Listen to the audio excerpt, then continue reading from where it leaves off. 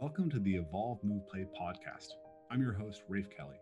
At Evolve Move Play, our aim is to help you cultivate a more meaningful life and a more heroic self by reconnecting deeply to movement, mindfulness, nature, and community practices. This podcast was created to bring the best and brightest minds in all of these subjects together to better understand how we can create an empowering and sustainable ecology of practices for personal growth. If you're interested in being part of this ongoing conversation, the best way you can support us and get involved is by joining our Podcast Plus membership. By joining, you will get backstage access to our live podcast airing once a month, as well as a private question and answer session with me and our guests after the show. On top of that, you'll get access to our thriving online community where you can continue these deeper discussions with people all over the world who are just as passionate and curious about these topics as you.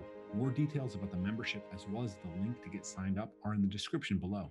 And whether you can join, be sure to like, share, subscribe, and hit that bell icon so you can be notified every Monday when our episodes drop. Thanks so much for your support, and we hope you enjoy the show. Hey guys, welcome back to another episode of the Evolve Move Play podcast. This week, my guest is John Vervaeke. Uh, Followers of the podcast will, of course, be familiar with John, who is the Director of Cognitive Science at the University of Toronto. And he's also the author of the Awakening from the Meaning Crisis series on YouTube, which has been a huge influence on me as well as many other people. Um, and the book uh, Zombies in Western Culture, multiple scientific articles on relevance realization. Um, and he has upcoming books as well. John has been an incredible mentor for me in understanding meaning and philosophy and psychology and cognitive science. And there's one area where he and I have had a kind of difference of opinion, it looks like, which is I tend to agree with Jordan Peterson that uh, postmodernism has been a really negative um, factor in the development of the culture wars. And Vervaeke has a much more nuanced and positive outlook on elements of postmodernism that I didn't really understand. So I wanted to have a discussion with him about that. I felt like it's a little bit off the scope of the normal topics we talk about here, but it's something that keeps coming up in our conversations, and I wanted to really dig deep into it. So prior to this conversation, I made sure to do a little bit of research, and I did. Um, I did start to change my my own opinion a little bit and understand more deeply what was happening within postmodernism and how it related to modernism.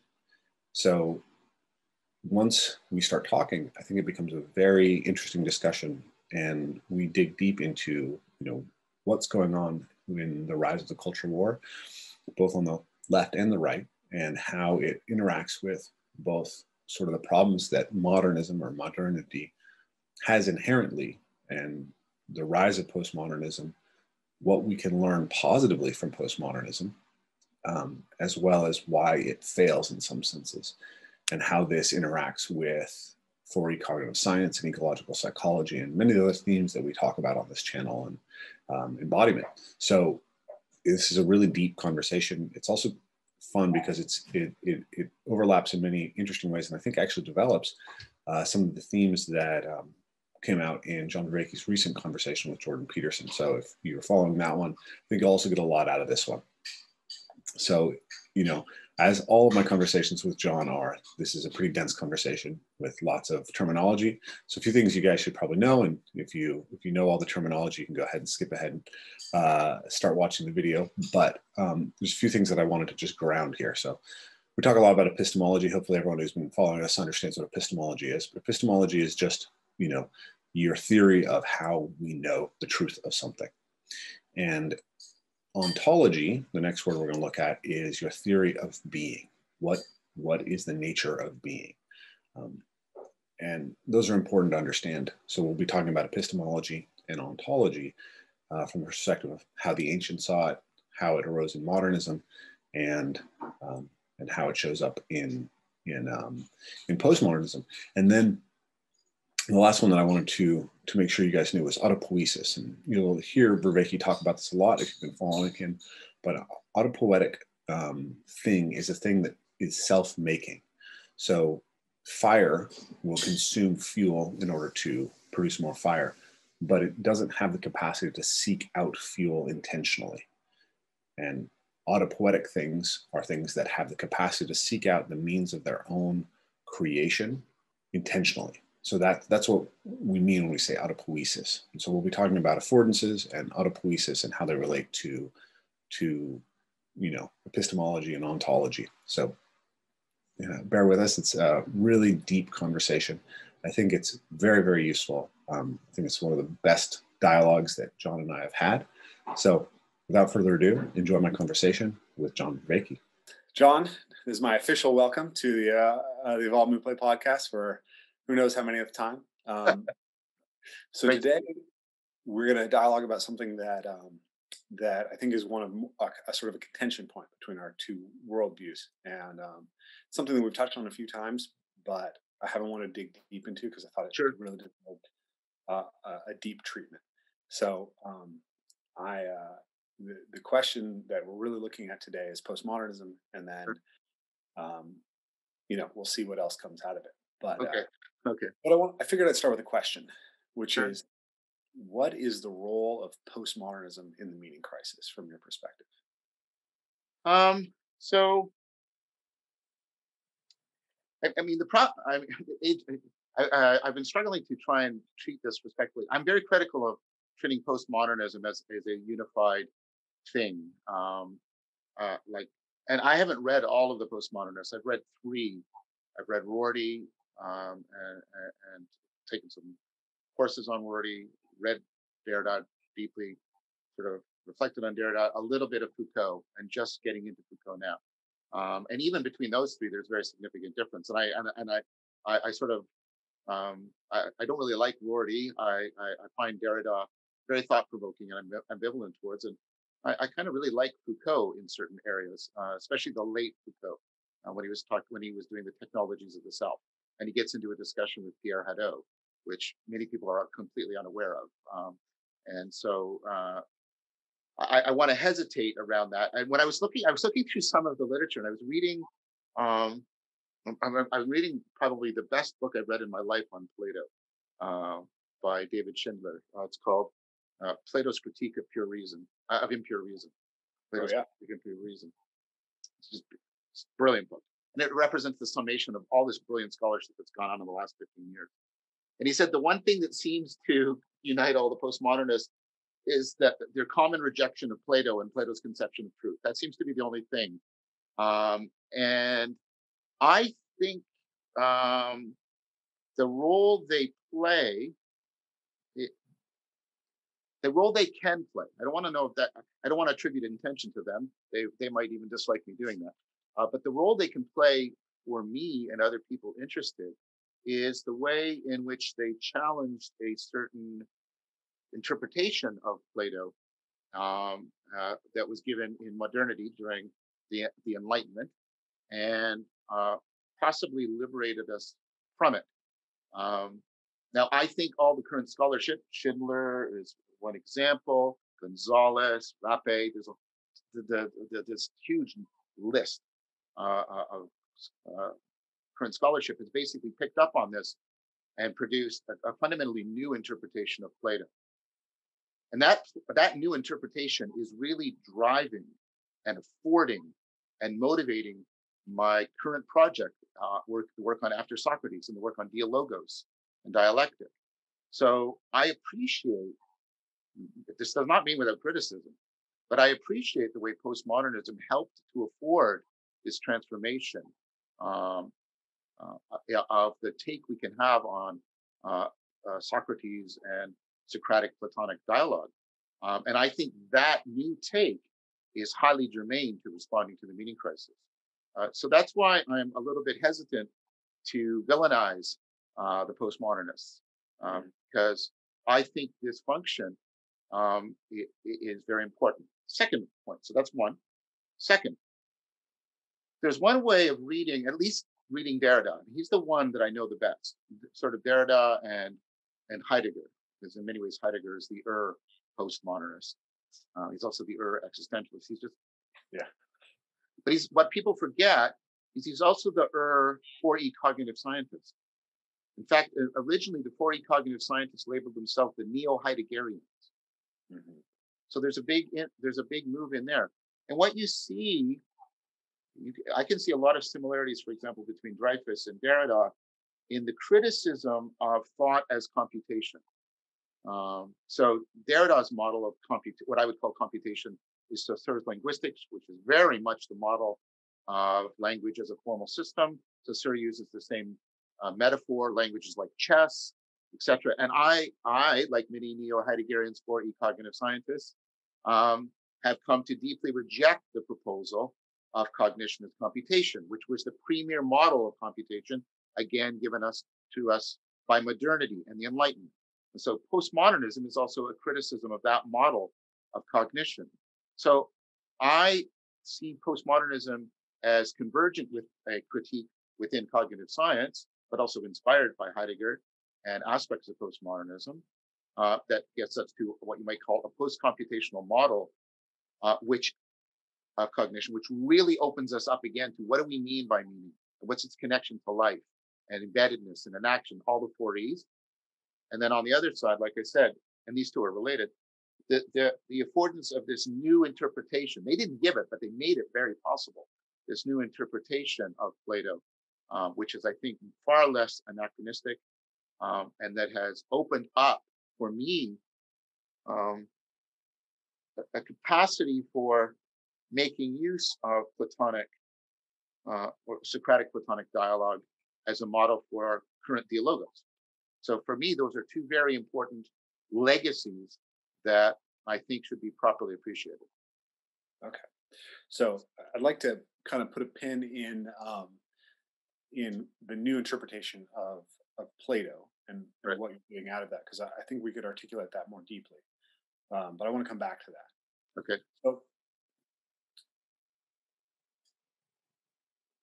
so I did a lot of research in preparation for this, sort of digging into what was Derrida actually saying, what was Foucault actually saying. I didn't look into Baudrillard and Lyotard and Lacan, um, but I, looked into those specific thinkers, and I looked at at postmodernism as a sort of more general phenomenon and, sure. and how it interact with it. So there's a, I mean, there's a lot of problems in in, in articulating this, right?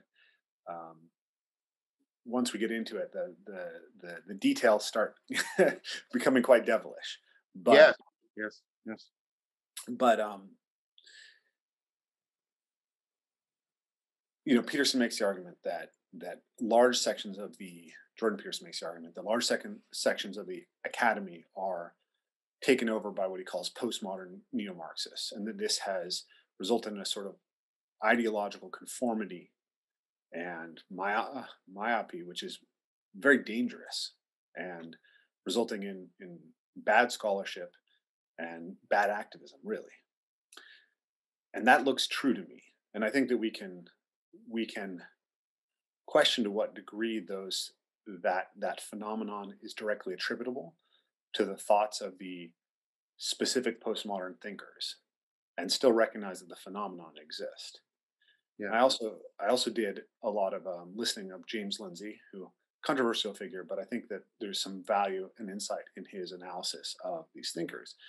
And you know, he he basically ends up, you know, initially say being skeptical of of Peterson's model, and then he reads Kimberlé Crenshaw and he reads Angela Davis, um, who are kind of at the beginning of critical race theory, and says actually you can really directly track these people to to you know I think it's Angela Davis is a student of Herbert Marcuse.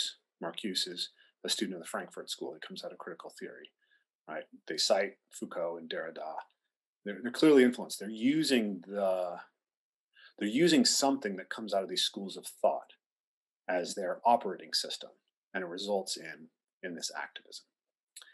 And so I, I wanted to kind of go back for a second and give you the naive version of my take on postmodernism before we go into the, the more because I think I think it's maybe emblematic of how a lot of people have gone through this or, or started to experience it and why people might be really negative towards postmodernism without having actually read the thinkers that's fair uh, i get and i'm not I, I want to be clear i'm not denying those historical legacies what mm-hmm. I'm denying is the exhaustiveness of those historical legacies. I'm pointing to two other ones that I think are powerfully important and efficacious.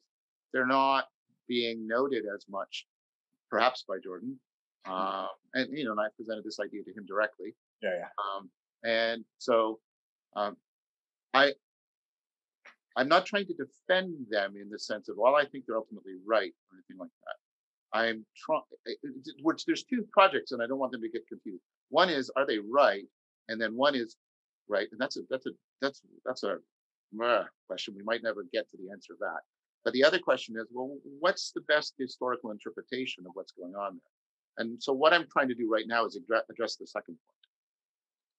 Yeah. So, um, I guess the way I see it is there's there's there's the thinkers who are associated with postmodernism, yeah, and the the potential insight or value in what they actually said, and then there is the historical phenomenon of how postmodern played itself out.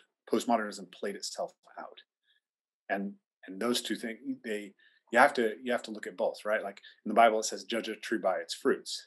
Sure, and and I would say that that there's some fruits of postmodernism that look pretty pretty damning at this stage and there may be also fruits that are that are much more redemptive but but uh, through my own experience i've been much more um, impacted by the negatives okay so, i'll let yeah. you I'll let you let you present your it's been interesting to kind of go back and think a lot about my own intellectual history as i've been preparing for this conversation but so i think you might have heard me talk about this but um, you know, dyslexic, ADHD, pulled out of school. Yeah. Had a mentor, took over my education, and uh, read Lord of the Rings. Lord of the Rings changed my life. And through the Lord of the Rings, I became interested in mythology. So I started reading the Greek and Norse myths, and then we get into Greek and Roman history, and then Celtic history and Celtic um, mythology, um, and then just anthropology in general. So I go to the local library uh, when I was, I think, starting at 11 or 12 years old. And I remember first they had these like big, glossy, beautiful, like picture books of anthropology with short descriptions of, you know, the the um, the Mbuti Pygmy and the Maasai and the Dinka and the Givante, you know, right, you know, Yanomami. So that was like my first. But somehow it's kind of an interesting thing. They had like all of Carleton Coon's work, right? Do you know who Carleton Coon is? No. Carleton Coon is like the last major figure in, I think, pre World War II uh, physical anthropology, like measuring skulls. Yeah, yeah.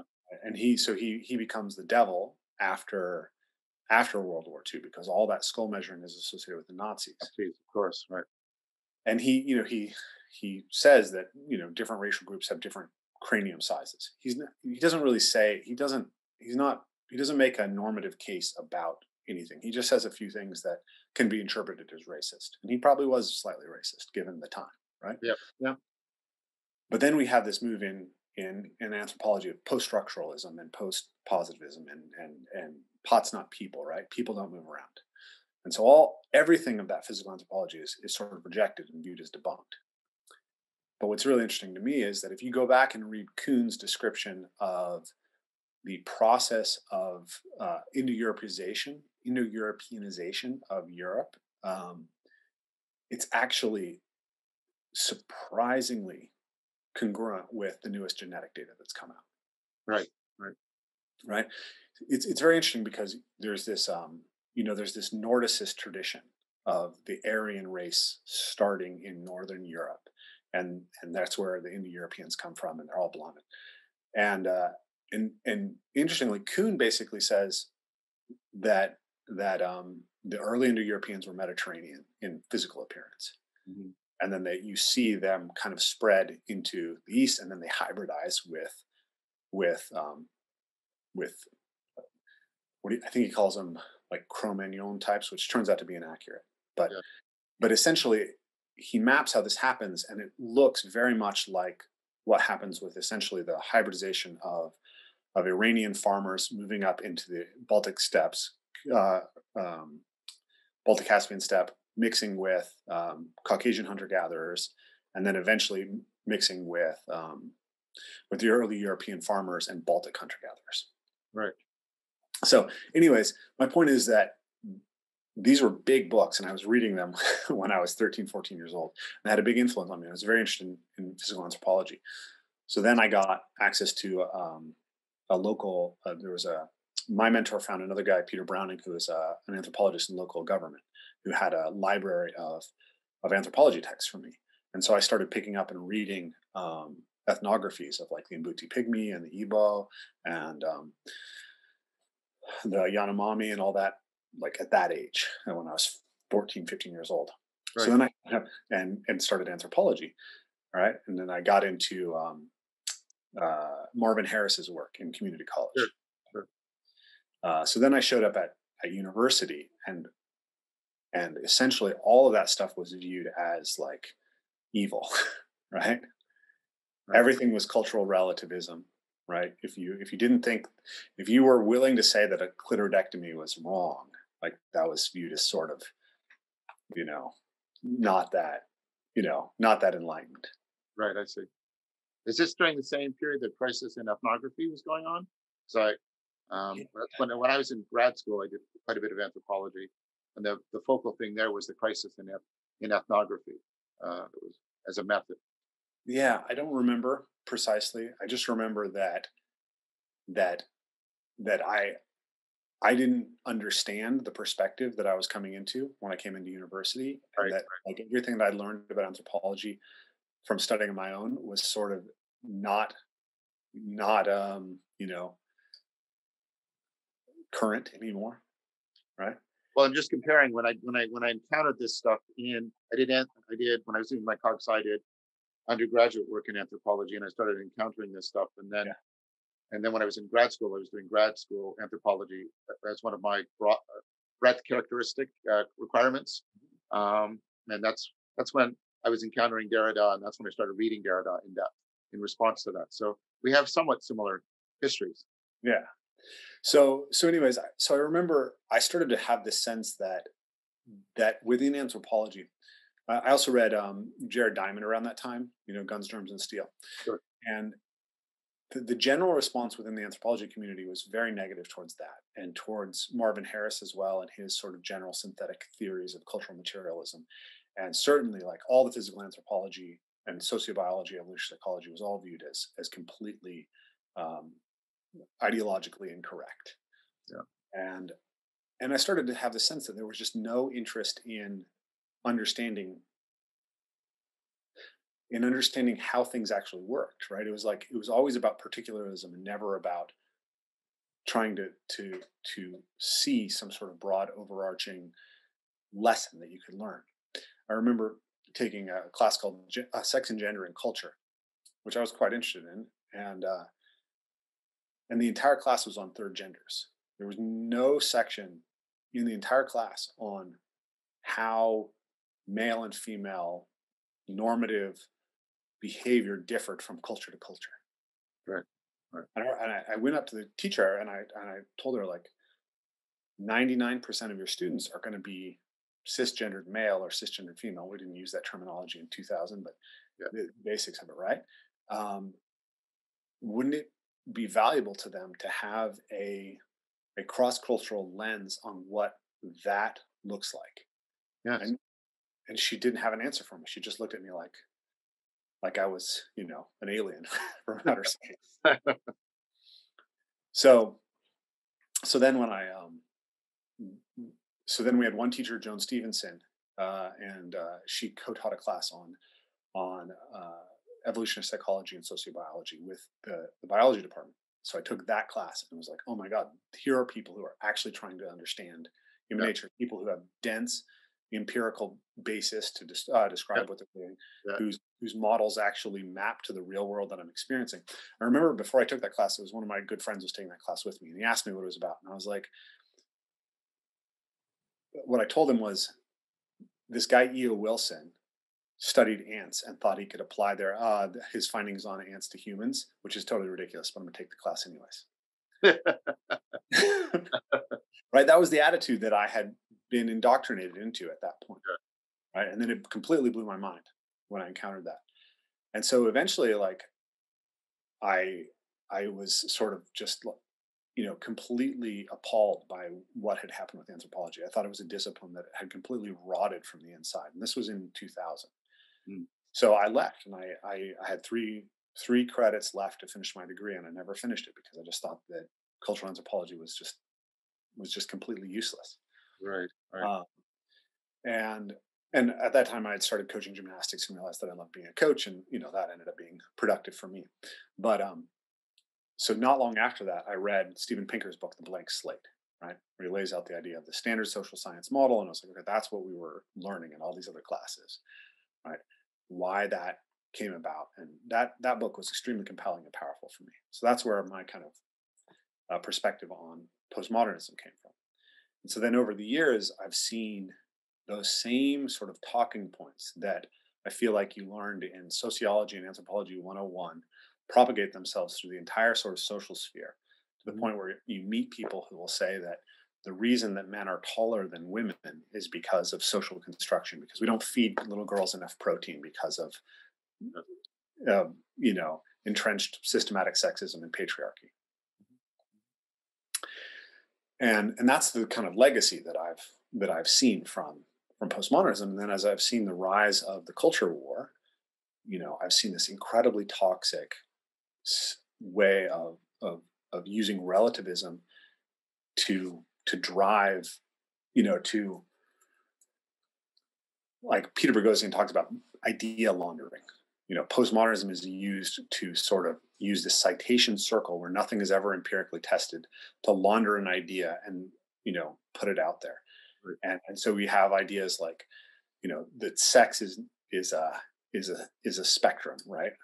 Um, you know that there's lots of different sexes and the idea of biological sex is socially constructed that's now a widely held idea you know and, and you know you can track that to Anne Fausto-Sterling and see that she basically just completely manipulates the data and, and falsely represents it in order to to find you know in order to to to achieve an ideological end. and so this is the legacy of postmodernism from my perspective. Mm-hmm. And and I think, you know,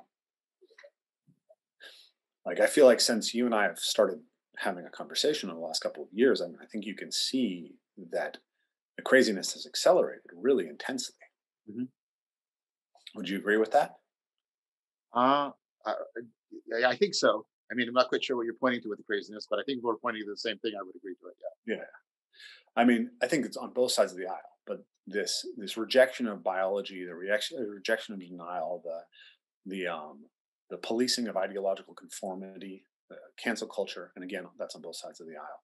Like that has gotten substantially worse, and I think you're seeing it, um, you know, at every at every level of academia, in the big tech companies. You're seeing it in schools. You know, like we one of the reasons why we wanted to move out of Seattle was in order to basically get our kids out of um, out of the Seattle school district because you know their equity, diversity, and inclusion um, programming is is so is so um, is so overarching. It's so much the primary focus of it, and it's so unbalanced in the way that it's presented. Mm-hmm that it just seems incredibly toxic to children. And we didn't want to have part of that. And I don't know if you've looked at like what's happening with uh, FAIR or FIRE and all the all the stuff that they've documented about what's going on. Like all of this seems to be in some way related to postmodernism. And like I, I can uh, I'll, I'll, give you my theory on on how that's connected, but um, but I wanted to kind of uh, just lay lay that out and say this is when I when I say you know when I, when I attack postmodernism, this is the the experience that I've had that, that, that leads me to that. And that's why like Peterson's message was so compelling because he seems to offer a very um, his picture of reality seems to map really well to what I've seen and experienced. Mm-hmm. mm-hmm. Uh, did you want to go further, or should? No, I'd love to. I'd love to hear your response. So, um,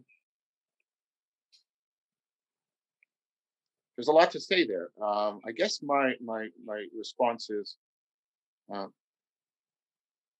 I think uh, I said this.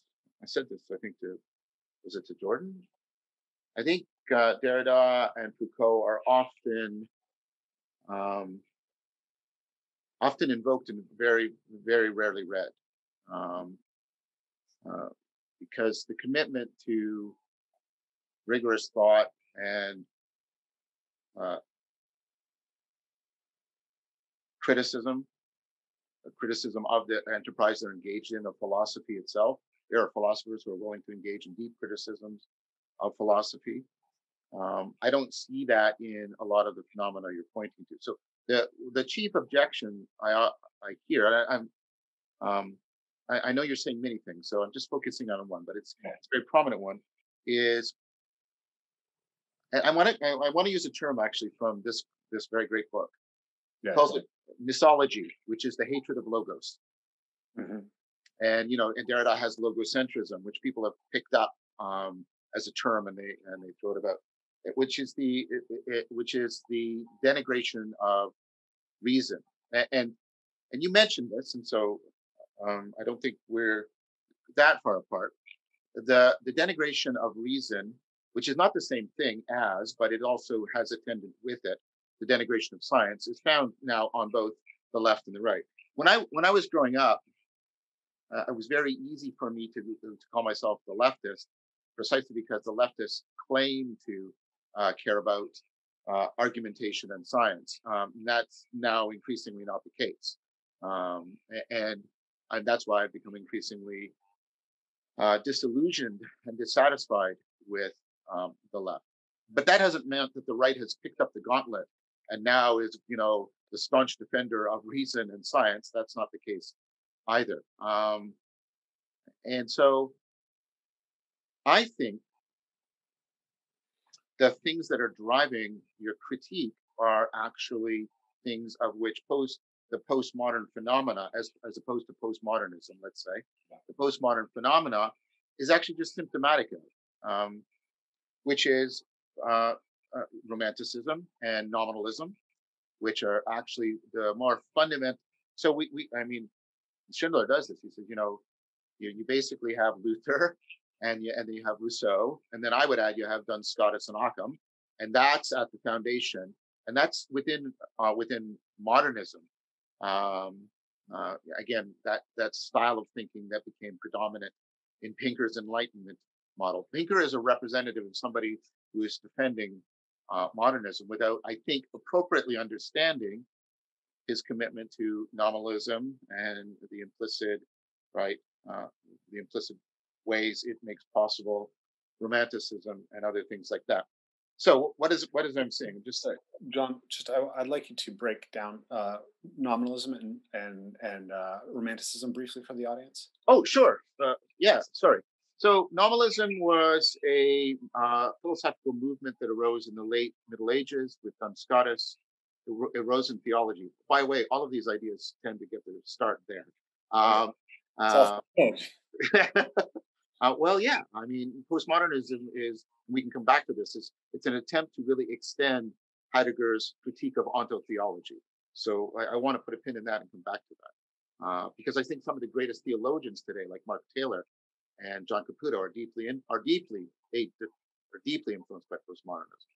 Uh, so let's go back to it. So what are these theologians doing? Scotus and Occam, they're arguing um, I'll try not to be very. T- the, the, basic argument is there aren't real there aren't real patterns.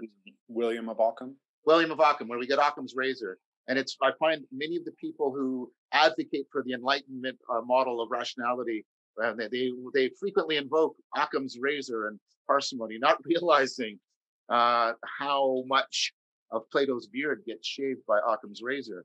Um, so here's a, here's an ancient model. Here's the ancient model is uh, so we ask this question and we think it's the way to ask the question.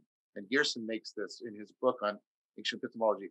How, how could, how, how, what, how do I know? What is the act that I perform in order to know? And so we, we, we turn into the mind and we do this subjective reflection thing typified by, of course, Descartes. I'll get back to nominalism in a sec. But the ancient world says, no, no, no. Let's take it for granted that there's knowledge. And then the world has to be intelligible. What kind, what does the world have to be like in order to be intelligible?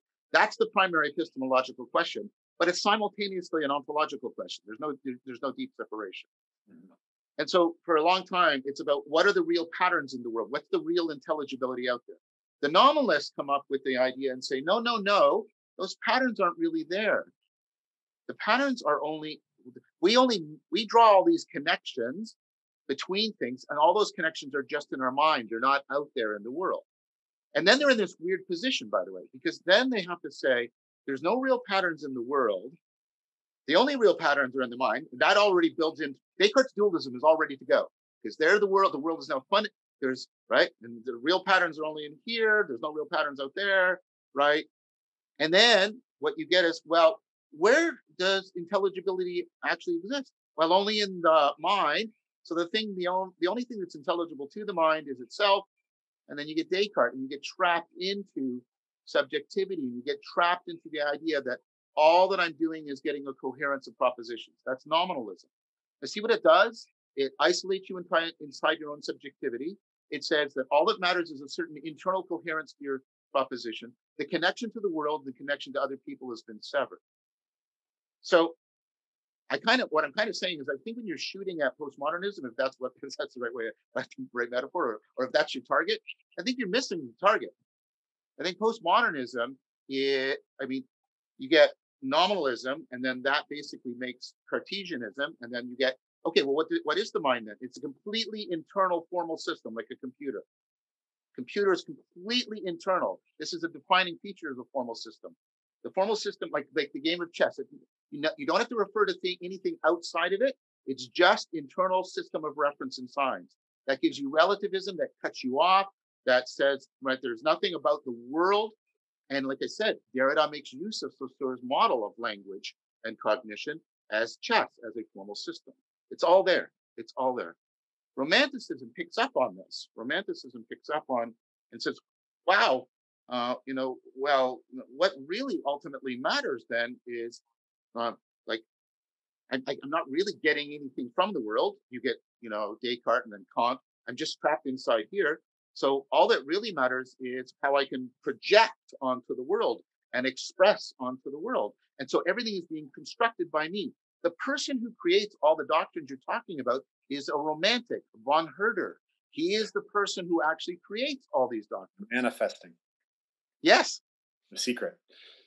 So I, I just want to just offer something there because so I, I think a key point that, that I didn't hear you make is nominalism refers to name, right? So the idea is that is that yeah. that the, the the pattern exists because it is named. It's an right. inversion of the Tao Te Ching, right? Yeah, it's the pattern of the naming.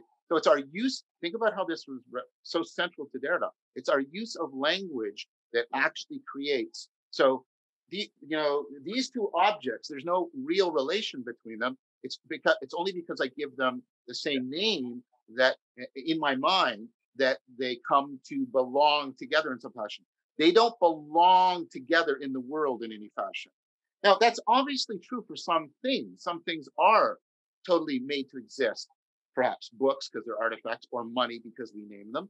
But nominalism goes stronger than that. And that's why when people invoke Occam's razor, they don't understand what they're doing. It also says there's no real patterns out there in the world, like among pieces of gold. Yeah. Or molecules of sucrose. Yeah, yeah. I want I just want to really hammer this home because I, I, I, I always, I keep coming back to like, there's not a better description of reality than the first three stanzas of the Tao Te Ching. Yes.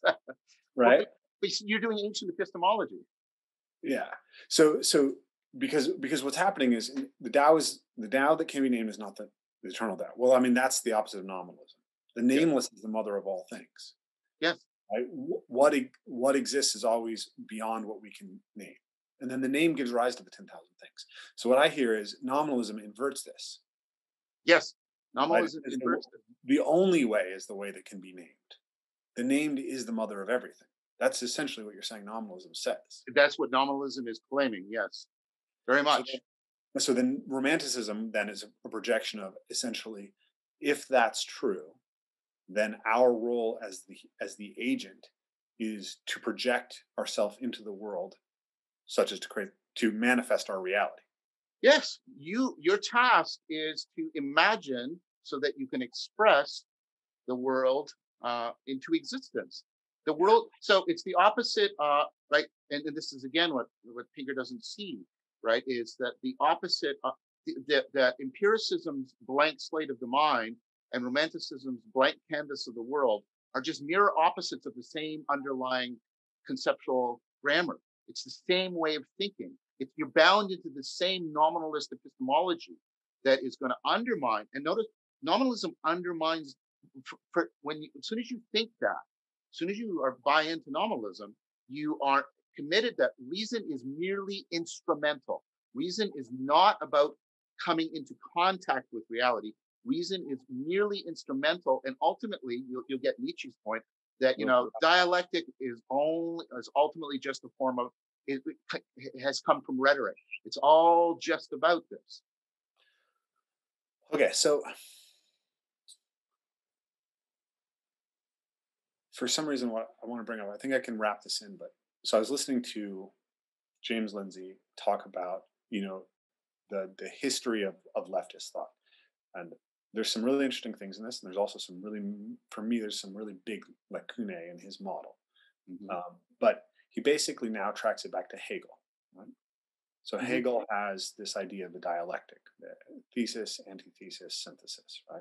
Within that, you you also have your it's a metaphysics, right? It's about grasping the absolute. It's also then, a misrepresentation of Platonic dialectic. Yeah. It is a modernist Cartesian misrepresentation of Platonic dialectic. Okay, so then he makes the claim that so from Hegel you get the young Hegelians. Marx is a young Hegelian. Marx tries to materialize to make in, to to to take Hegel and make it a materialist sure. dialectic. Yeah. Dialectical Essentially, it remains a um, it remains a religious sort of system in a way, right? Yes. And there's this idea of a transcendence to the next state, right? We have to destroy the world as it is. It's almost like gnosis, right? It's very Gnostic. It is. It's it's very Gnostic. Yeah. Uh, and and, the, and revolution becomes the primary religious act for bringing about the utopia. Yes. Yeah. So then, so Hegel, Marx, and then the Frankfurt School, right? So you have Adorno and Horkheimer, and yeah. uh, and he he places a lot of importance on Antonio uh, Antonin Gramsci. Yeah. Gramsci basically lays out five pillars of culture that have to be taken over such that we can destroy the culture as it is in order to allow the utopia. And, and it, there's something very Rousseauian to me about all of this because they're uh-huh. not at all prescriptive of how you actually get to the utopia. They really no. don't have a strong, yeah. you know, they don't have a strong. So, okay, so you have Gramsci, and he says, okay, Gramsci describes exactly what people are doing. Like, look at what's happening in the academia, look at what's happening in schools, like schools and also the family. And Gramsci says you have to destroy the nuclear family. And of course, now we see all this rhetoric around, you know, you know, destroy the nuclear family coming out of the left right now. So then, then from Gramsci, he tra- traces to Marcuse, uh, uh, Herbert Marcuse. Marcuse, yeah. he, you have this essay, repressive tolerance, which is basically this idea that it, you have to create a one-way dialectic where only leftist, where leftist ideas are always tolerated, no matter leftist actions and ideas are always tolerated, no matter how violent they are, because they move us in the direction of liberation conservative ideas have to be have to be um, uh, censored, even at the degree of thought, right? And this is essentially what it lays out. So you have Marcuse, and then Marcuse becomes the mentor of Angela Davis, and Angela Davis and bell hooks create critical race theory. Or um, there's one person I'm, I'm, missing in that line, but okay. So then you get, and then yeah. Kimberlé Crenshaw, and then you get intersectionality with Kimberlé Crenshaw, and that's sort of the the the, the operating system that all of the activism is, is is based off of. And I find I think this is it makes a very compelling narrative. Sure. And I think there's truth in it and I think it's valuable. But here's the problem. I think you can find people saying something. You can find people saying kind of whatever you want to say, but is that actually where the ideas came from? Like I think the line from Marcuse to Angela Davis is very clear. But why is Gramsci really the father of all this? Is everyone going back to Gramsci?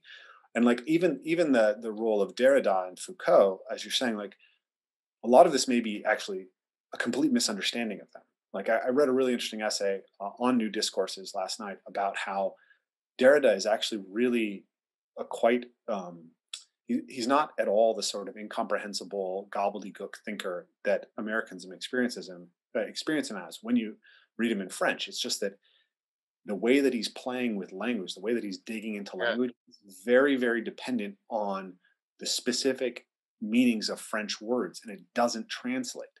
And That's- so, yeah, he tries to do something very much like what the Tao Te Ching does.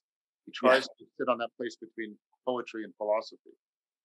and so it gets it gets picked up by like Judith Butler. And I mean, uh, uh, I think the guy's name was Christopher Lord who wrote this, but he basically points the finger at at women's studies as the place in which activism sort of infests academia, Mm. and then you have this this self-referential, almost cult-like system that gets propagated, and then women's studies gives rise to gender studies, gives rise to uh, ra- uh, ethnic studies, and and you know um, whiteness studies and blackness studies and all, all of these studies things they all come essentially originally from women's studies Mhm. so i i think um so anyways so i so i don't think that ideas i think his model is too emanationist that's what i want to say right Yeah. it's almost nominalist in a way it's like Yeah. these this bad person produced these ideas and they've colonized the world. And I don't think it works that way. I think there has to be emergent bottom up things that make that make the world um, ready for the seed of specific ideas. yeah, you should always. I mean, this is one of the things.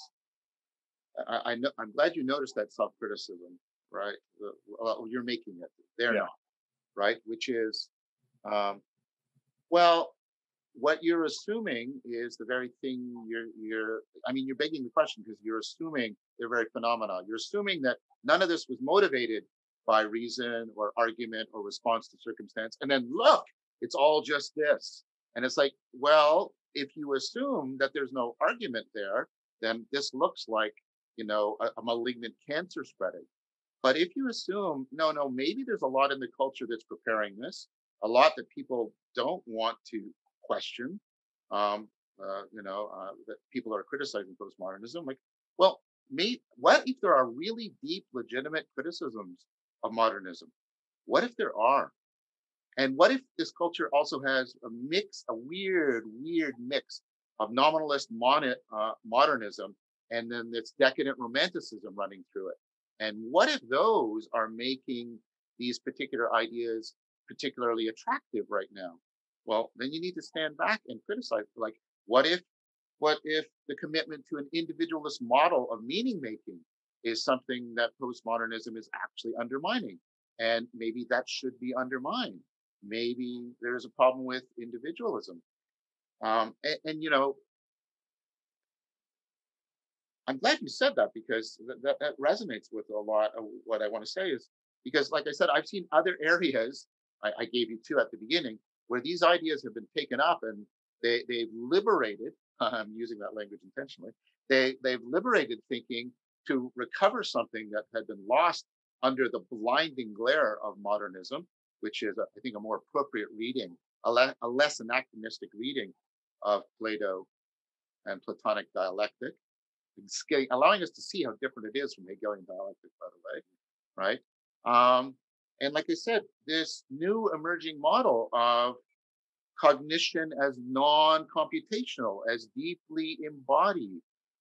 You and I both advocate for embodiment, embodiment, but it was it was feminists like Genevieve Lloyd in the book the man of reason who started, you know, was a significant contributor to this. and saying, like, wait, wait, we are forgetting the we like we did this weird. The mind is masculine, the body is feminine, and we do all this weird stuff, and then right, and then we've left embodiment out, and, and you know, and, and then Heidegger was coming in and saying, you know, well, maybe cognition isn't computation, and all of this stuff is germinating into the idea that you and I are both finding tremendously fruitful right now, which is the deep truth of embodiment. Try and find anybody in the Enlightenment period talking about embodiment. Good luck. Good luck. Try and find anybody doing that in, in a way that is going to really. Pardon me? What about Hume? Hume doesn't talk about it. That's exactly the point. Todes' critique of Hume in Body and Mind is Hume does exactly the opposite. Hume takes an epistemology of an absolutely static spectator. Interesting. And that's how that's why he can't see causality in the world. Because if Yeah. you sit passively spectating, you can't get causality from into from the world, and you will not see causality in ontology. That's the one of the core of Todes' critique of Hume. Interesting. Tode. Yeah, the body and what's it called? The body and the mind. I think T O D E S. Yeah. Okay, so I mean, yeah. So one of the problems with postmodernism and thinking about it is the problem with what is modernism, right? It's such a big, it's such a big thing to try yeah. to understand, right? And when, like, you know, um, Pinker came out with Enlightenment Now, and you know, one of my good friends was a huge fan of that book, and I, I just like, I, I think the Blank Slate is one of the most important books that I've read. You know, I think how the mind works, and you know, the language instincts is amazing, but Enlightenment Now just doesn't work for me for a variety of reasons. And even the better angels of our nature, I'm very skeptical of in, in parts. But the thing with Enlightenment Now is it seems like he he extracts a very specific message from it that doesn't represent kind of is not very representational of where it was and then he he also mixes up the ideas from counter enlightenment thinkers with ideas from enlightenment thinkers it's it's not um, good work but I, I would say i mean i like the language instinct but the mind uh, how the mind works i strongly recommend reading jerry fodor's book the mind doesn't work that way okay, because cool. he just well i don't know that book that well so so i'll, I'll just rescind my but that's the cognitive science, right? That's the cognitive science. And so yeah. that's where I can speak to with some expertise. Yeah. And Fodor's critique of that book and, uh, and of its computationalism, which I think is the key yeah. model of, of modernity. Ho- Thomas Hobbes, cognition is computation, right? I think Fodor's critique of that, and here's what people need to understand.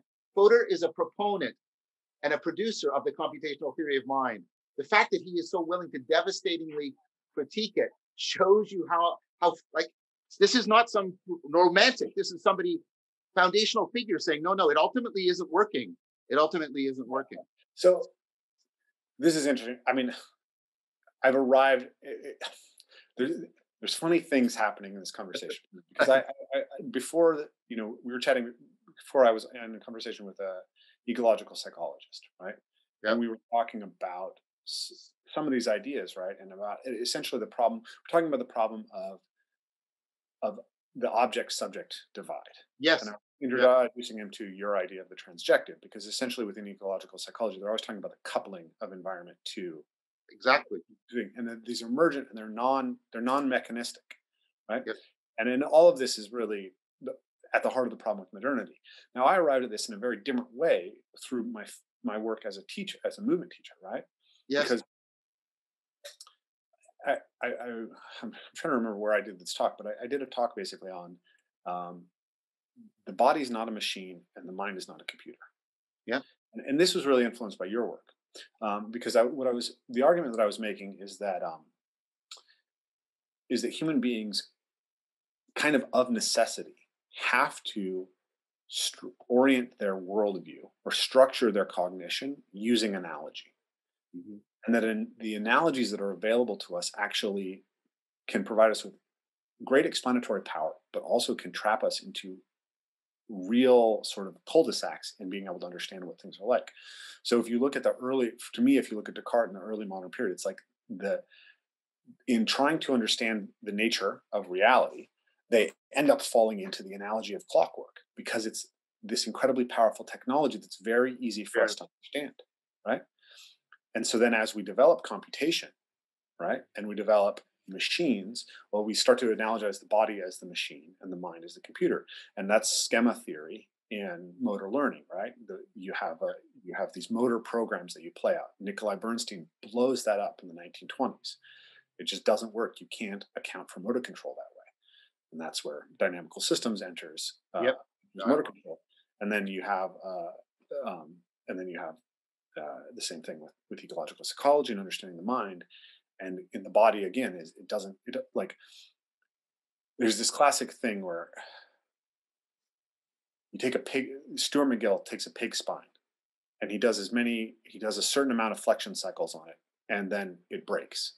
And it says okay well you only have so many flexion cycles in your in your life right?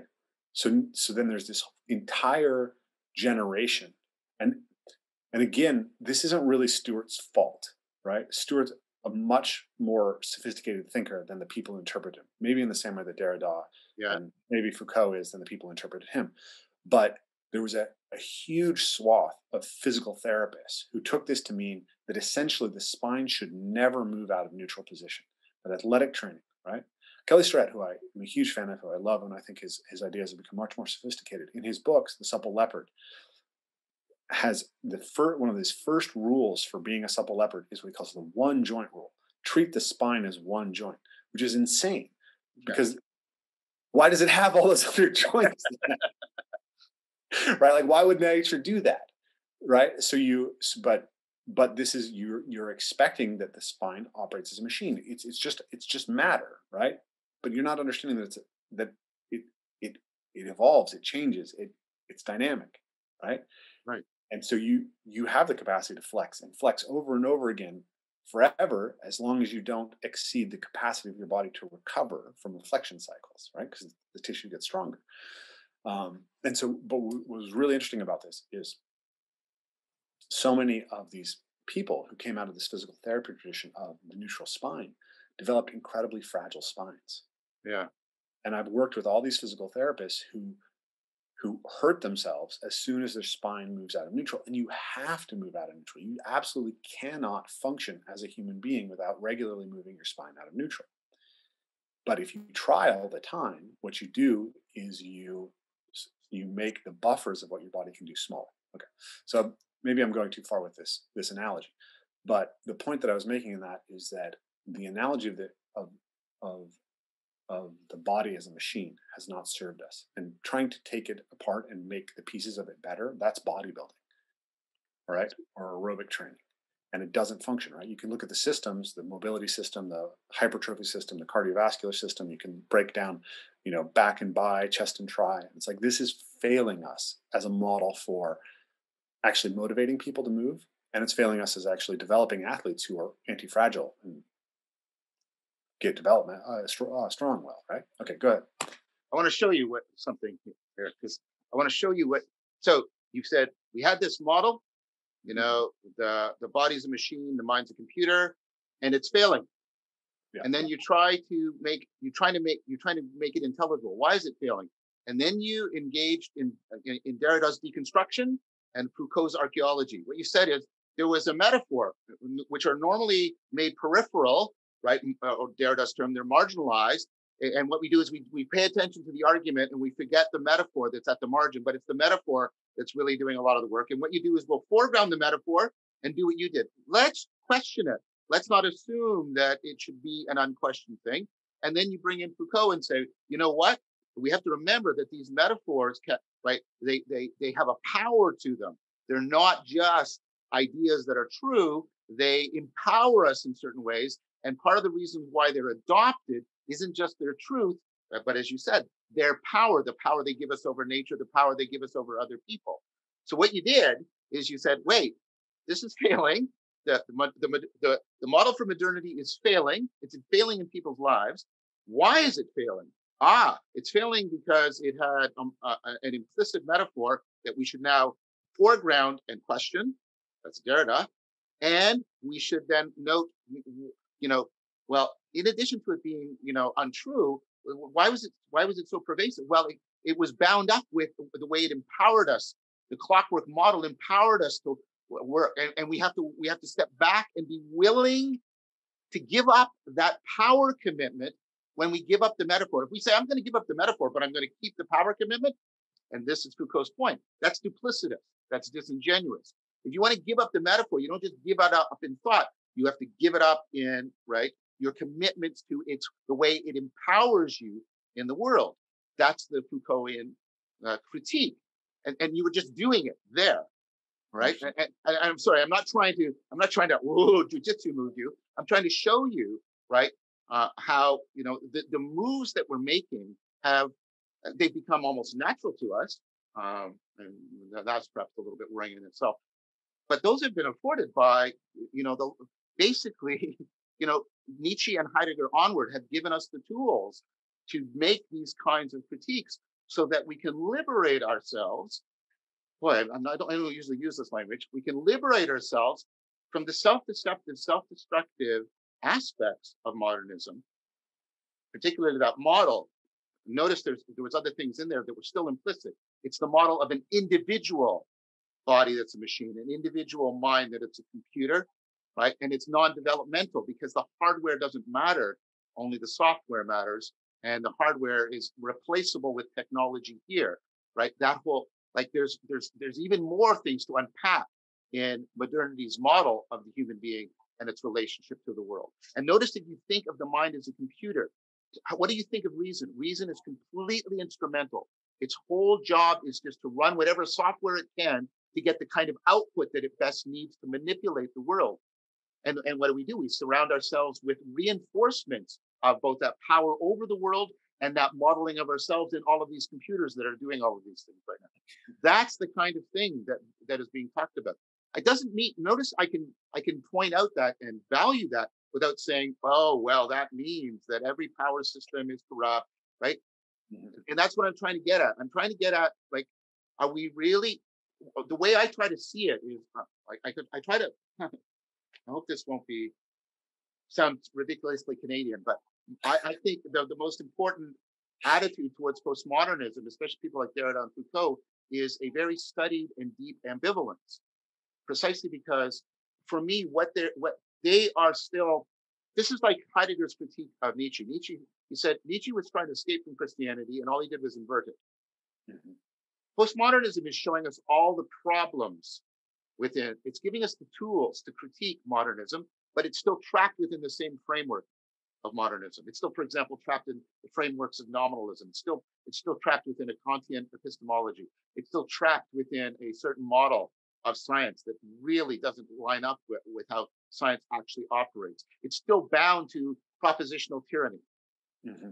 Not Derrida, there's nothing outside the text. Writing precedes language, all of that stuff, right? And so for me, I see it, I see, I see it as, right? I see it as convergent with other critiques. Mm-hmm. But what, what, what it, it's, it's still bound to the thing that that's why and other people christopher norris and other some some of the best commentators on postmodernism especially deconstructionism said you know it can't it, it isn't a philosophy in its of itself it's it's completely parasitic it's completely dependent on on the productions of the modernist framework in order to have something to talk about now i think that that's the unfortunate feature that tends to bleed into activism and it's increasingly self-radicalization because it, it, it is ultimately a parasitic movement. It is a it is a parasitic movement that only works by continually, right, trying to criticize deeper and deeper uh, modernity without offering alternatives. But that's why I like the 4E cognitive science people and things like that because they or can make convergent critiques, but they're also proposing something other than the Cartesian Kantian framework. Sorry, that was a bit of a speech, but I wanted no, to. Great. So there's a couple things I wanted to do there. One is I want to note that, um, and, and maybe you can break this down for me, but we can come back to it. But, but essentially, you, you mapped the argument I made to arguments that Foucault and Derrida make.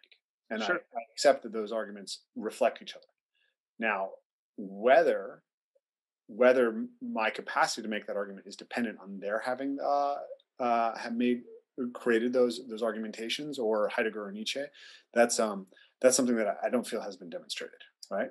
So so well then the thing to, to say is where have you gotten your critique of that from? And you've got it from me, you said, and I have been influenced by those ideas. So that's a pretty direct line.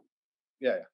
So um so anyways I, I think i still think that i have some agnosticism about that but but i don't want to get too wrapped up in that one thing I, but I, what I think is interesting here is the idea of one thing I find really interesting here is the idea of of of, uh, of postmodernism as being uh, parasitic and also unstable because it doesn't actually uh, propose a replacement, right? It critiques without transcending in some sense. Yeah. And so this is so Pageau has done some really interesting videos about the idea that that postmodernism views itself directly as parasitic, like it, it uses that description of itself right? And you know, this is I a lot of people in my circles have pointed me to Ken Wilber, and you know, we've talked about integral a little bit. I started digging into it, and I'm a little bit more skeptical of some of his models than than I was before I dug into it. But he has this this, and I this description, and you know, Yeah. I think it's, I think there's some truth in it, some merit in it at least, which is that you can't have a grand narrative that there is no grand narrative. It just collapses and inverts, right? And so That's that what I mean. That's what I mean about it. Very Yeah. much like Nietzsche and, and this, yeah, and again, Pageau does, I think, brilliant work in showing how so much of what's happening is just inversion, right? Yes. You know, he's just, we're just we're just we um, we reject the hierarchy of male over female, right? But then we just recapitulate the pattern, but put women at the top of it, right? So Yes. he, he talks about this in um, he had a really beautiful video where he he broke down uh, like that image happening over and over again. You see Logan replaced by the young woman. You see um, in Mad Max Fury Road, Max uh, Furiosa replaces the, the the the sort of male hero. Yeah. Um, Yes. you, you see it over and over again, but they don't they don't actually the, the female heroes don't actually represent a new form of virtue or a a an integration of the masculine and the feminine in a more sophisticated mature way No. they just represent a kind of resentment of the negative aspect of the masculine and Yeah. there's this there's this sort of idea the idea seems to be the masculine messed up and is bad so it needs to be replaced with the feminine but there's no actually articulation of what that is or how that works or how it integrates better and they work better together. He, he points this out as well as in moana right? Which I, I love moana and i think that it has some really beautiful beautiful elements in it but i also think his critique of it is quite interesting right? That that the masculine culture figure is maui and essentially he's completely incompetent and everything is given to him at the end. Um, Yeah, And- and, there, there's other inversions that you know if you can see it. People have noted this in the sitcoms uh, from the 70s onward. the adults the adults go from being sort of uh, you know, like figures into being being becoming buffoons, and then buffoons that, and then their primary function is just to love and adore their children. Uh, they don't have any sort of significant role uh, around that, uh, independent of that.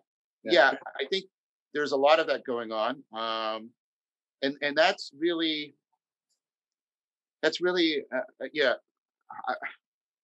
so just I, I, I just want I, I just want to say that I mean the the fact that it's parasitic and the inversion uh, is actually problematic from even I don't want to be in always in the position of by the way of defending postmodernism, uh, but I mean the, the the, you know the, the best postmodernists are, are trying to uh, overcome the dichotomies. At least that's you can and you can see this you can see this in the end towards the end of Foucault's career the technology of the self and then Derrida starts to get into a discussion with uh, negative theology uh, because they're trying to, well, what would it be like to, instead of just critique, what would it be like to transcend? And of course, they have problems with that because they don't, they, they, they, they don't have an ontology that affords transcendence, so they just invoke it, um, which is really problematic for Derrida, by the way, because he's deeply, deeply indebted to Levinas.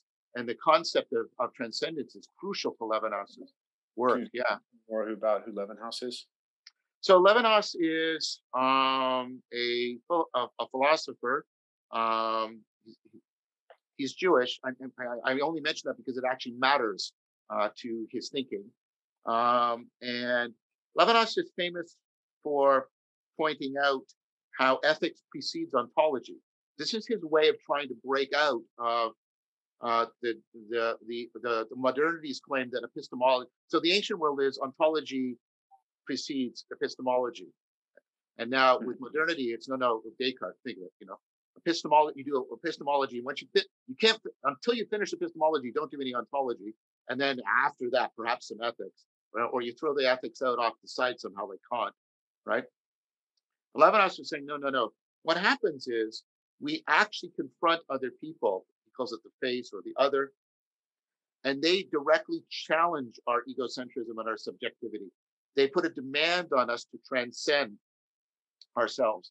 And that is that that that initial confrontation with the other it right is the source of ethics because ethics requires at its fundament a transcendence of self-interest and self-centeredness. And so he says right uh, if what happens first is our ethics and and then the, the point along the way is if you don't have any sort of ethical normativity, you're actually not going to get any epistemology. You're not going to get any ontology. Yeah. And, you know, and that's why if you if you if you read Derrida and you, see it, you okay. see this in the movement, right? You see that underneath all of this stuff, there's this there's this ethical imperative that is very very um, powerful, but also very very implicit. Mm-hmm. So Okay, there's a lot to unpack there. The thing that's coming up for me is so I've been I've been reading I was reading uh, postmodernist stuff and then I was reading ecological psychology. Um, yes. And I, I love ecological psychology, but there's also a part of it that, that starts to feel self self-referential and almost like another closed, almost theological system to me. Yeah. And one of the things about it is it's always about this this what is the the mind inside of and this this idea of this yes. reciprocal coupling relationship. And they wave at the fact that motivational states are necessary, but it doesn't seem to be to be really hammered in on. Yep. Where like for me, uh, and um, you know, if you're an ecological psychologist and you're listening to this, and I completely get this wrong, forgive me, I don't know the literature that well, but this is my sense, and and tell me if I'm wrong here. I would nest ecological psychology within evolutionary theory, and sometimes it doesn't feel like that's fully happening. And the evolutionary theory tells us that the organism arises with motivations, right? It's trying yeah. to, it, it, at least we have appetite and aversion, right? Yes. Yes. And those are necessary for any type of coupling to the environment. You have to have, you have to have a normative, well, you just said a normative framework. But the most fundamental normative framework is consume things that that nourish you, avoid things that destroy you. Mm-hmm. That, that's that that's that's how life starts. Yes. Right? So then you you start with these, and we iterate out other motivational states on top of that. But the the the organism can't be coupled to the environment without a motivational state. I agree. There's no motivational state, and so so you're just what I heard and what you're just saying is that before we have epistemology, before we have ontology, we have motivation, and understanding motivation is is kind of that's we we have to we have to get that first in a way. Well, here's what I bring in, and I, I think that's right. I think it's autopoiesis. Yeah. There, right. And then I, I, I want to, if, if, we can, bridge into how the relevance realization is that, and then how Derrida's difference, I think, is very similar to Vervaeke's relevance realization. Um, so, but, but but one of the things that uh, one of the things that goes goes with this is that autopoiesis and affordance are in, like are interdefining things. There's no affordances without autopoietic entities, yeah. but there's also no autopoietic en- entities without affordances. Exactly. Yeah, so, yeah. Right. So, so again, I, um, if we say motivation, we have to understand it as that as that dyad, not just as an internal an internal feeling state that moves the the mind computer and the body machine. It's saying no, no, no. The world eh, has a certain intelligibility. There's this stuff happening in, and then motivation is the emergence of an affordance between them um, so that action is now possible. They right? rise together, right? Yes. I, and I'm wanting to, I, I, there's a passage from the Tao Te Ching that wants to come forward in my brain, but I can't quite articulate it. But it's like being and non being arise together. These things arise together. You have to have, um, you, you, ha- you can't have affordances. You can't have a, an autopoietic thing without an affordance, but the affordance doesn't exist. It's not it's not real until there's an autopoietic thing to interact. That's right. That's right. Exactly. So there there is a mutual mutual causality or, or, or reciprocal causality there. So and that's also something that right you don't you don't hear postmodernism reflecting on the fact that it's still committed to a Newtonian physics, the Newtonian model of causality, a Newtonian model of how human beings interact with the world, right? And, and so there's a way in which um, it's, I think you're right. Um, the, the fact that it's sort of bound to the critique of modernism has rendered it incapable. I have to be careful about this because, at, like I said at the end, Foucault's reading Hadot and starting to really deeply reflect on Hadot. And you know how deeply Hadot has influenced me. And like I said, and Derrida's entering into conversations with Buddhists and, and, and, uh, uh and Neoplatonists. Foucault is reading the Stoics and he's also reading the Christian monks because he's trying to understand wisdom again. Like there's there right, and so I see the great thinkers towards the end turning away from critique and trying to open up to well, trying to come up with a positive response. So uh, sorry, there's something that just keeps coming up for me that I that I need to address, which is like so as I was preparing for this interview and reading up, like I started to feel a lot more open to Derrida, right? Yeah. I, I listened to a very short essay on Derrida from like philosophy, yeah, from like philosophy.net on YouTube, right? And essentially they say that that basically what Derrida does is he just their description of Derrida is that Derrida elevates doubt and makes us start to question things. And I actually think this is really necessary. And like you know, you and I have talked about R. Scott Baker and how much his work sort of keeps resonating for me. I keep yeah, yeah, yeah. The deeper my philosophy gets, the more I'm like, oh, oh yeah, Baker Baker's imagery and symbolism and the way he wraps it in just keeps hitting for me. But the the main character of uh, of the the arc of the second apocalypse is this character Drusas Achamian, and essentially he's a voice for doubt. That's really yeah. what he is, and and that's really powerful to me, right? Like like I I, I described mm, to recently I've I've been playing with this idea that like my fundamental axioms are respect mystery, mm. serve love, seek truth, and cultivate virtue. Right. So it's like the outermost thing is that I that I'll never know.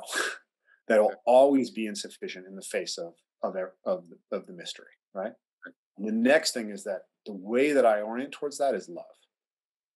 And in order to serve love well, I have to put myself in a relationship to truth. In order to be willing to face truth, I need courage and capacity, and I need all those heroic virtues that I talk about. Yeah. And I think the kind of doubt you're talking about is not Humean doubt. It's yeah. not the, it's not the epistemological hand wringing that has mm-hmm. set us for so long. It's Socratic aporia. It's the kind of thing that sets you into wonder, right? It's Derrida who brings back the word aporia, right? Yes, and that and then that's not a coincidence, right? It's the idea of well, what you're trying to do is realize, right? You're trying to realize. You're trying to realize that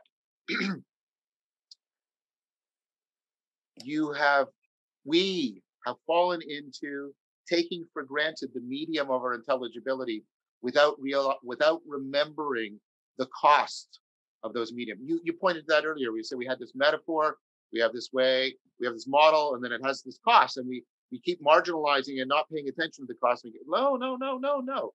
And it's like the aporia is to get. It's like it's like what the cynics would do, like Diogenes, right? That the point of the aporia is to get your stuff back and go realize, oh wait, it maybe it doesn't have to be this way and what are the costs of committing to it this way?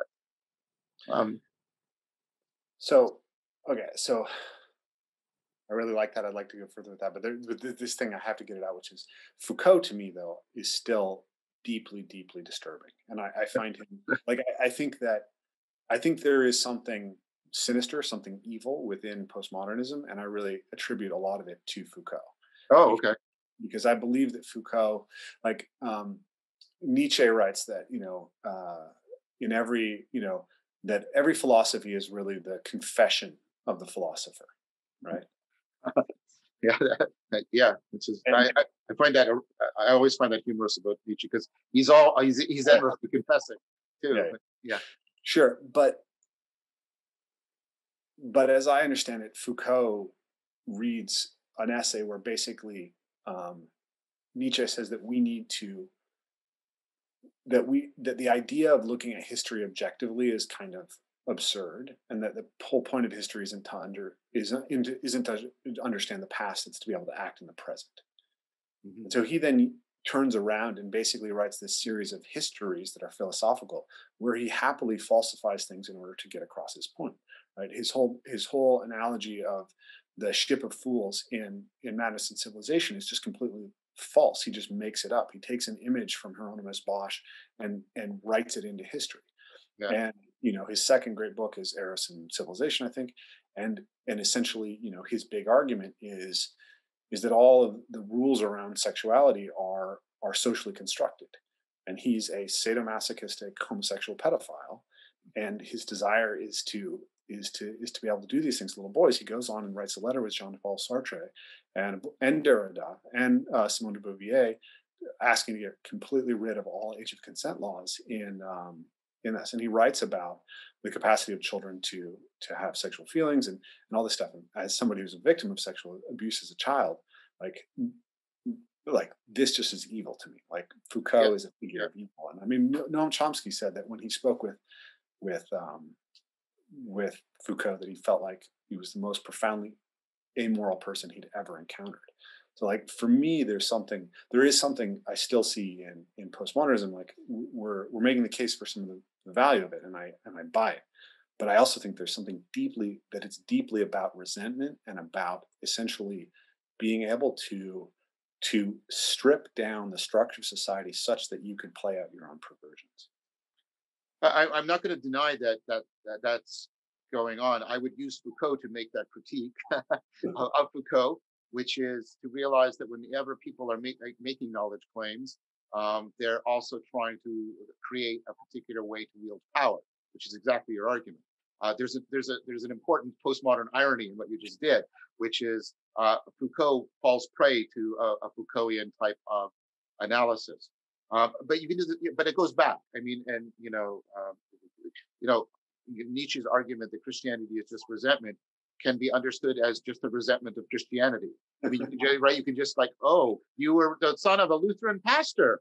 Gee, I wonder why you dislike Christianity so much, Nietzsche, right? I mean, and so like, and so the, the concern I, uh, and I, you know, uh, my concern is I want to both respond as your friend and in love to the fact that you were abused and just acknowledge that. Um, and so I think you should endeavor to push back as virtuously, but also as strenuously as you can against anybody that you in good conscience think is trying to make that more possible. I think you have every, not right, I think you have every obligation to do that. And so I want to, yes, I think you should. And so I'm not trying to defend Foucault from that. I, that's what I tried to do with that jujitsu move that I just did and say, but look, what like what is it we're doing? Um, and and and and the the thing that I, I would ask after you acknowledging what I just said to you, uh, like as as a person, I mean, Schneider is one of the things he says that he's worried about. He says that you know postmodernism is only the latest symptom of something that's going back, basically, to nominalism on. But you can see it accelerating. Is what he calls intellectual impatience, um, where we're increasingly not caring about what is said and increasingly caring about who says it. And mm-hmm. we're increasingly not caring about what they say, but either how can it be applied or what negative, possible ne- negative ethical repercussions could it have down the road. Now, and, you know, and, and agree again, the reason why these take root is because there's some deep truths in them, right? We should like we that I think the character of the person should matter. Uh, but we can now turn it in that if that's taken too far, it becomes like cancel culture. And by the way, the left and the right are equally guilty of this. So claiming this is a left issue, ah, come on, the right is doing it too, right? It is doing it too. I don't know that they're equally guilty. I think that might be a false equivalence, but they're certainly very guilty. okay, okay, okay, okay. Well, I don't know. Oh, okay, so I'll withdraw equally because I haven't done enough empirical work. Um, but there's. I would say that if you go back to the 90s, cancel culture was much more a thing of the right. And yeah. I would say the most recent sort of drive towards cancel culture has largely been driven on the left, and the left has a lot more power to cancel at this stage. But there's large elements of the right that are trying to reclaim that power and apply it. Right? They don't. They don't. They don't have Twitter and Instagram and Facebook and Google to apply leverage on their cancellation, but there's every evidence that if they did, they would be acting just as negatively or more negatively than the people. But, but when they held the cards, when they held the churches, and they were the most powerful way of disseminating yeah. something, they were happy to wield it then.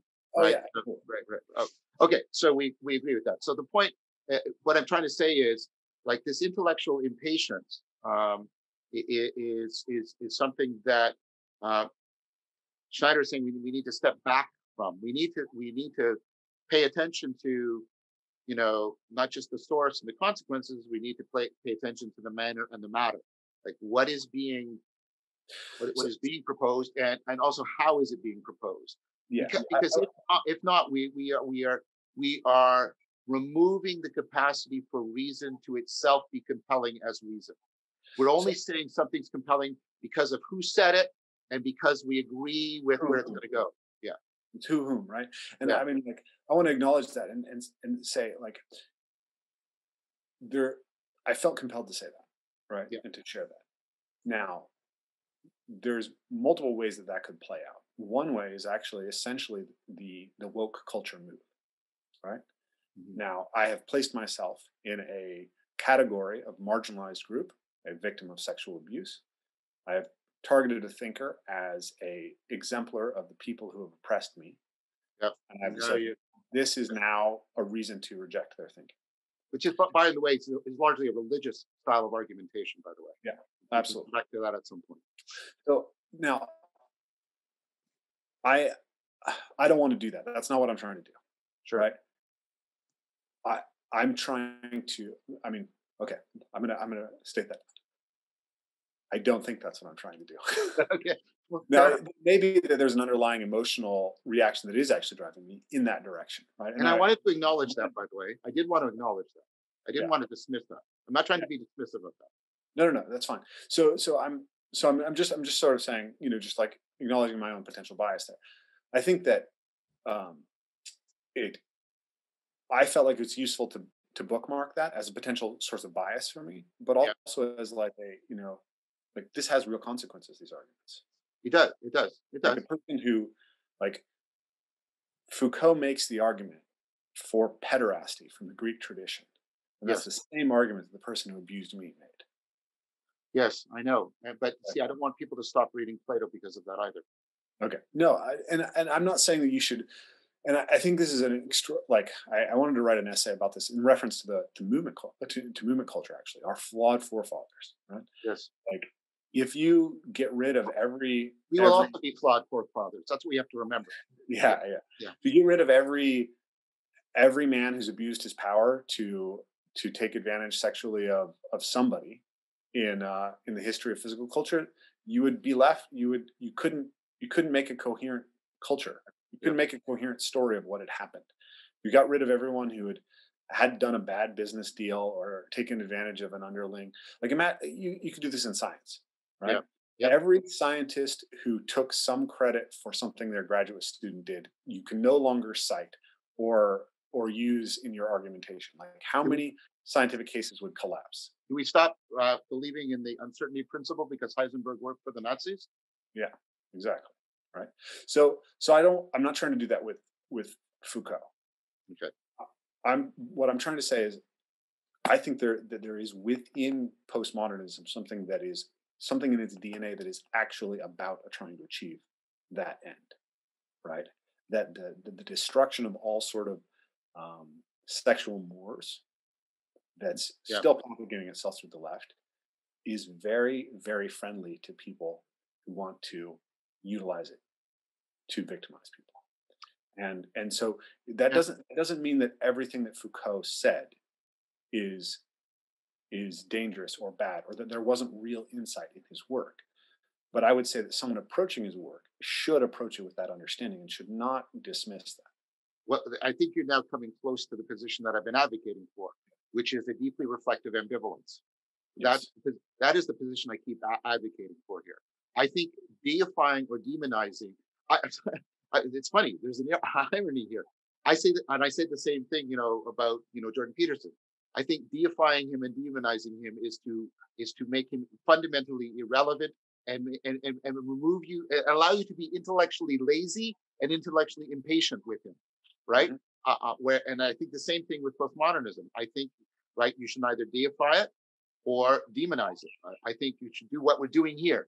This is to me the appropriate response. We disagree but we dis we disagree uh, you know, friendly in a way in which we can get into dialogos. We're both drawing each other out. We're both deducing from each other. We're both moving towards each other. We're both moving around, right? Uh, the phenomenon that's under investigation, right? That's all I'm. That's really all I'm arguing for. Um, and I, I think that the the the, re, the, the what one of the things I, am worried about is it, it, I, I agree, I agree. Let me just say this quickly. The, the deification of this stuff has turned into well, a religion. I mean, I, I think, uh, I, I, mean, I, I think uh, unless you're just deeply entrenched in it, right? I, I think America is now, in fact, in the middle of a religious civil war between the Trump cult and the woke religion, uh, which, uh, which I think. Uh, religions. I don't know. I'm sure there's something worse, but man, they're really low on the on the eh, on the category list of badly formed religions. QAnon versus woke is is well, well, but but but but that's but but I would say the fact that both sides are in the basement of their ontologies and their capacity for uh, deep uh, uh, sapiential transformation points to uh, Schneider's overall point that we have we have devolved to an increasingly short-term intellectual impatience. Um, so, but so what, what I wanted to say is that the, the, the, deification in wokeism, I think your critiques are well are well said, and they should be paid careful attention to. My concern is the, demon, uh, uh, the demonization, right, leads to an unconscious, and you can see this in people like Rationality Rules and Sam Sam Harris, you can get you can get uh, Steven Pinker, you can get this, and you've made this point, this uncritical valorization of modernism and a Cartesian framework that I think is worthy of being pretty much devastatingly destroyed uh, because of the way it is. It is, I mean, it is deeply misleading, I suppose, scientifically and existentially. So I'm trying to get to a place where we can step between those. And that's where I sound ridiculously Canadian, and I'm sorry. I have come to I have I don't know if I've told you this. This is this is a really random thing, but so I'm I grew up 50 miles from the Canadian border. Mm. And so Canadians come down here, traditionally came down here a lot to shop and also to ski on the mountains. And there's this like friendly um, disdain for Canadians. Right? right, Little brother can't his money doesn't looks funny and doesn't you know it's like you're supposed to disdain Canadians, yep. right? And the accents, the hey, people, people, people in British Columbia, they don't believe me. No, nobody in British Columbia will admit this, but they don't say a, right? They say hey. Yeah. Like, Welcome to Canada, hey, right? so, anyways, so then, so then, uh, then then I found Jordan Peterson. His accent absolutely drove me crazy originally. And he becomes this huge influence for me. Now you and I are friends. You become one of my biggest influential. Now my favorite show is Letterkenny. Have you seen Letterkenny? no, I know about it. Yeah. I swear Wayne is like he's like Jordan Peterson's less intelligent hick cousin, right? Like work yourself out, okay? um, you gotta you gotta watch the show. It'll crack you up um, you'll be like, okay, I get it. Um, and so yeah, I have this this real Canadaphile thing that's happening. Now everyone tells me I have to read Marshall McLuhan. I'm like, I don't know. I don't know if I can handle liking Canada this much. It doesn't make any sense. Anyways, that's that's that's beyond the point. But it's it's just a funny thing. I, I, think these small rivalries are important, right? We have to have some in-group out-group. But uh, well, uh, hopefully we have what you know what you know was in the Greek city states there was enough yeah. shared culture, but enough difference that uh, there was this tremendous creativity. Yeah, absolutely. I mean, I think you need a you need safe places to put your your your tribalism. Right? That's why yeah. I like. yeah, yeah, yeah, yeah, yeah. I refuse to like soccer. Just it's, it's like it's the one way that I can be a, a, a jingoistic American in a way that's totally not harmful to anybody. right. So, okay. So here, here's a point that I've been wanting to get to though, and I, to get us back on on the, on the track. So, so I laid out James Lindsay's argument, right, and um, and we've talked about Peterson's argument, and um, I, I think I think it's it's too top down, right, mm-hmm. and and so I think we have to have an analysis that asks what are the bottom up characteristics that give rise to this. So I, uh, I wanted to read you a couple passages, um, just just to give you a sense of how. Like, I'm sure that you're familiar with this, but like, so I suppose I would say that my criticism of you is that I think that your project of saying let's recover the value of postmodernism is smart. Like, I think that's great. Like, let's integrate it, and let's also be really really articulate in what the in where the problem is, right? Yeah. And okay, the problem isn't necessarily what Derrida, Derrida is saying, or understand Derrida well, right? Yeah. But I don't I don't hear you often acknowledge, though you have in this conversation, just how much pernicious stuff flies under the postmodernism banner. And so I think it's valuable yeah. to be more more more um, what's the word explicit about about the problem of postmodernism as a sort of phenomenon within the academy while also being able to say what's its source? And is it really about those original thinkers? And is there something valuable we can recover from those original thinkers? I agree with that. I think that's fair. So, I, I, would i would point out that uh, this this attempt to um, appreciate postmodernism while also criticizing and move beyond it is one of the, one of the defining features of metamodernism. Yes, yeah, yeah, metamodernism. Yeah, I mean, this is what the integral people are pointing at, and yeah. So here, here's a here's a few quotes though that I think people like. I, I, if people aren't familiar with this or haven't gone through it, like, and one thing that bothers me is a lot of people seem to think that this stuff started in like 2014. Um, and it's like no like it starts in the 70s at least 60s 70s so the, or well, it starts before that romanticism nominalism we're going way back now yeah, yeah, yeah. the 1992 draft of the national science education standards for example claimed to be based on a contemporary approach called postmodernism that questions the objectivity of observation and the truth of scientific knowledge mm-hmm.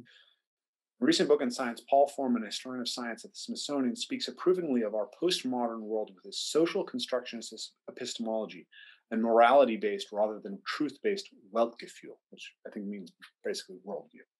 Many science educators now endorse a postmodernist perspective on science, which incorporates some of the more extreme feminist views. For example, students supposedly need to learn that the so called laws of nature are social constructions whose validity depends on consensus. The consensus is driven by interests, not epistemic considerations. Science is politics by other means. Yes. There's no legitimate universal science, only local ethnosciences which have been oppressed or colonized. The emphasis on so called scientific objectivity only serves as a cover for exploitation. Instead, we need advocacy research and emancipatory science. Um, the very form, uh, it is quite a, uh, whatever uh, sophisticated caveats one may wish to put on the viability of the de facto value distinction, and whatever, however difficult it may be to ever live up to the scientific ideal of disinterestedness, it is quite a radical step to call for the deliberate injection of politics into the very formation of uh, scientific hypotheses, as does Helen Longino, professor of philosophy and women's studies at Minnesota. I am suggesting that feminist scientific practice admits political considerations as relevant constraints on reason. If faced with a conflict between political commitments and a particular model of brain behavior, we allow the political commitments to guide the choice. Yes. And I, I, see this over and over again. I've, I've seen interviews with, with scientists, people are coming up in the field who do not see science as instrumental towards truth. They see it as serving a political function. Like James Lindsay has talked about medical lysenkoism. Like, and I think essentially we're we're seeing lysenkoism arise in, in every different field as it's colonized by critical theory. Yeah, I, I agree that that's happening. Um, um, I and I think that all of that was uh, pernicious. Um, however, again, uh, do the thing that they worried about.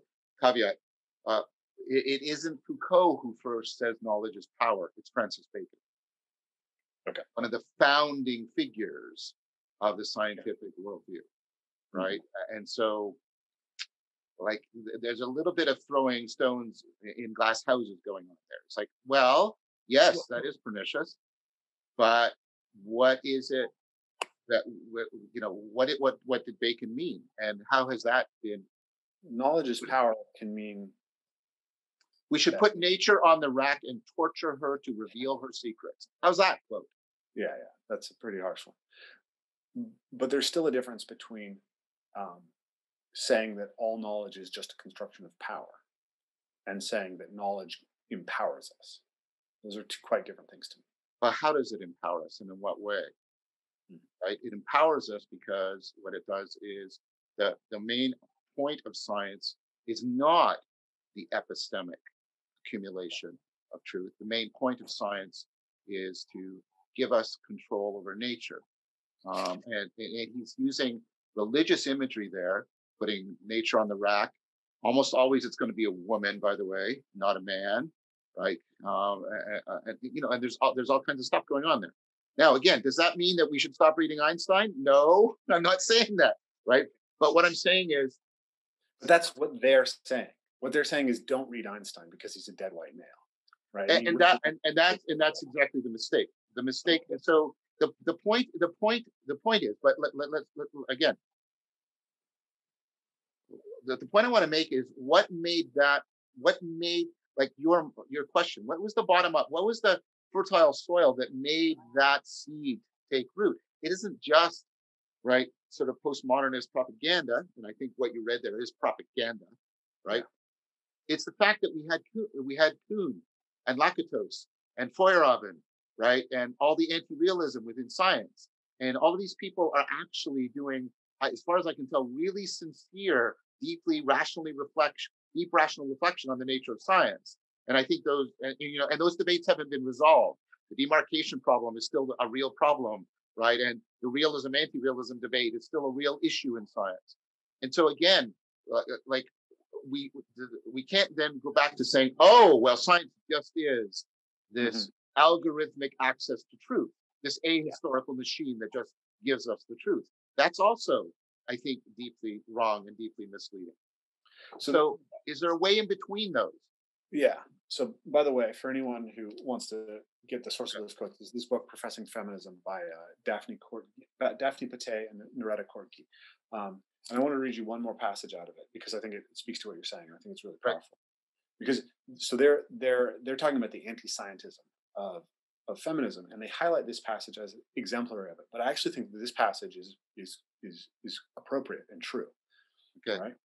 Um, sociologists of science, Harry Collins and Trevor Pinch, would not describe themselves as being anti-science. Their popular book, The Golem, is constructed around a very ambivalent metaphor.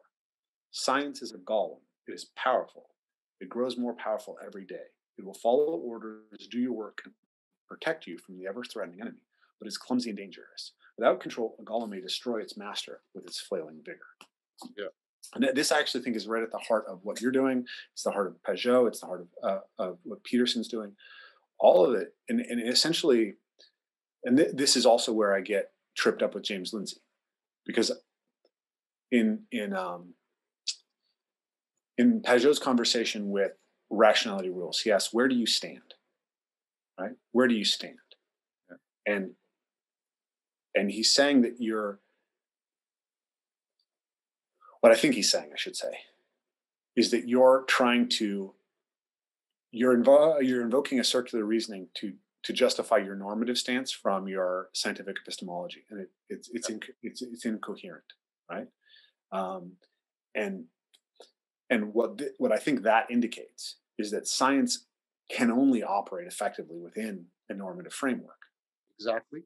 Right so what the problem is that critical theory and postmodernism as a sort of mm, not this thinking of Foucault, but as a as a as a broader phenomenon within the social sciences and critical literature, it it has assumed it has it has adopted a religious normative framework that uh, that believes that it is a science.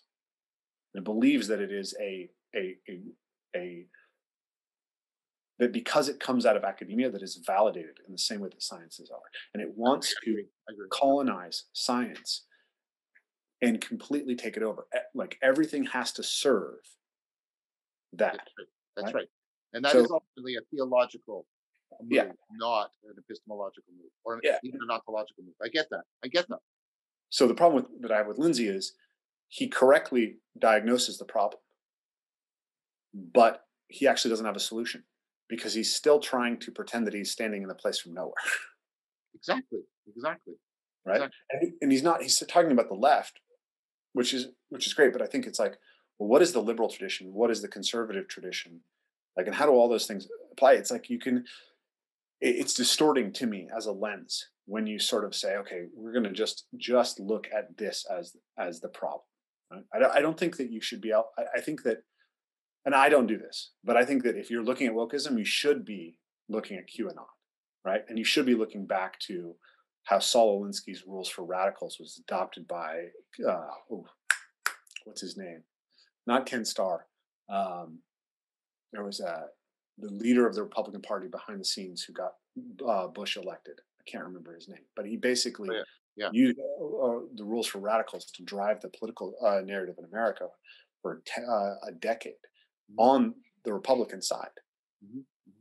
So um, now I'm getting all passionate about all too many different things. But to go back to it, um, what I one of the things that I wanted to do here is get back to this analysis of what is the bottom up, right? I think we- we've done a, a beautiful job of kind of articulating a lot of these things, and I wanted to offer an idea, and and then. Uh, do you have a time constraint? You're looking a little distracted. No, I'm, I'm not distracted at all. I think Okay. I think I, I think I was looking inward to Okay. sort of. Okay. what, what- what's my state of mind. I think that's Okay. all. I, that's all, all I was doing. okay. Um, so uh, after the after George Floyd's um, murder or manslaughter, uh, there was these huge protests, and they happened all over the world. Right? And I felt like those protests were really out of scope, and the way that the problem was des- being described was inaccurate. Right? There are there are lots of racial problems in America, but the rate at which there's, you know, 19 unarmed black men were killed by police that year and 40 white men were killed. And you can look at George Floyd and you can look at Tony Timpa and see the same thing, but nobody knows who Tony Timpa is.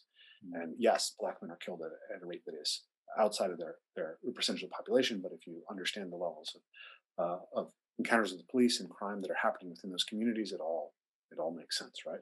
It's there are more there are more black men murdered in one weekend in Chicago by other black men than there were by police, right? So it is police brutality a problem? Yes, it is. I mean, I think Roland Fryer is the best criminologist who's looked at this, and he's found that that that uh, black men are about fifty percent more likely to get low level uh, force uh, from police officers in any given encounter, right? Right, right, right. Once an encounter begins, and that's a real issue. And I have lots of black friends who who report they're really uncomfortable um, uh, experiences with the police. So I'm not dismissing it, but I'm saying when you look specifically at lethal violence, you don't find that there's a real um, there's a real issue there, and that um, that it was being propagated through the, the, media narrative was that this is a huge problem. There's an open season on young black men, right? This was happening all the time. And then you had these huge protests that were incredibly destructive to the very communities that were they were supposed to serve, right? Creating food deserts, and you know companies are, are running away. And you know, uh, Lyndon uh, Leonydus Johnson has documented all of the black children who've been killed as a result of street violence, right? And we've seen that murder rates in these communities are up 400 percent, right, since the George Floyd protests. Right. So I wanted to speak out about this then, but I didn't feel like I could because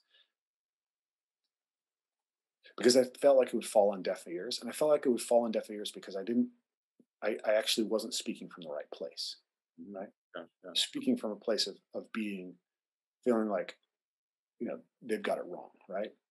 And so I thought, so I was trying to understand like why.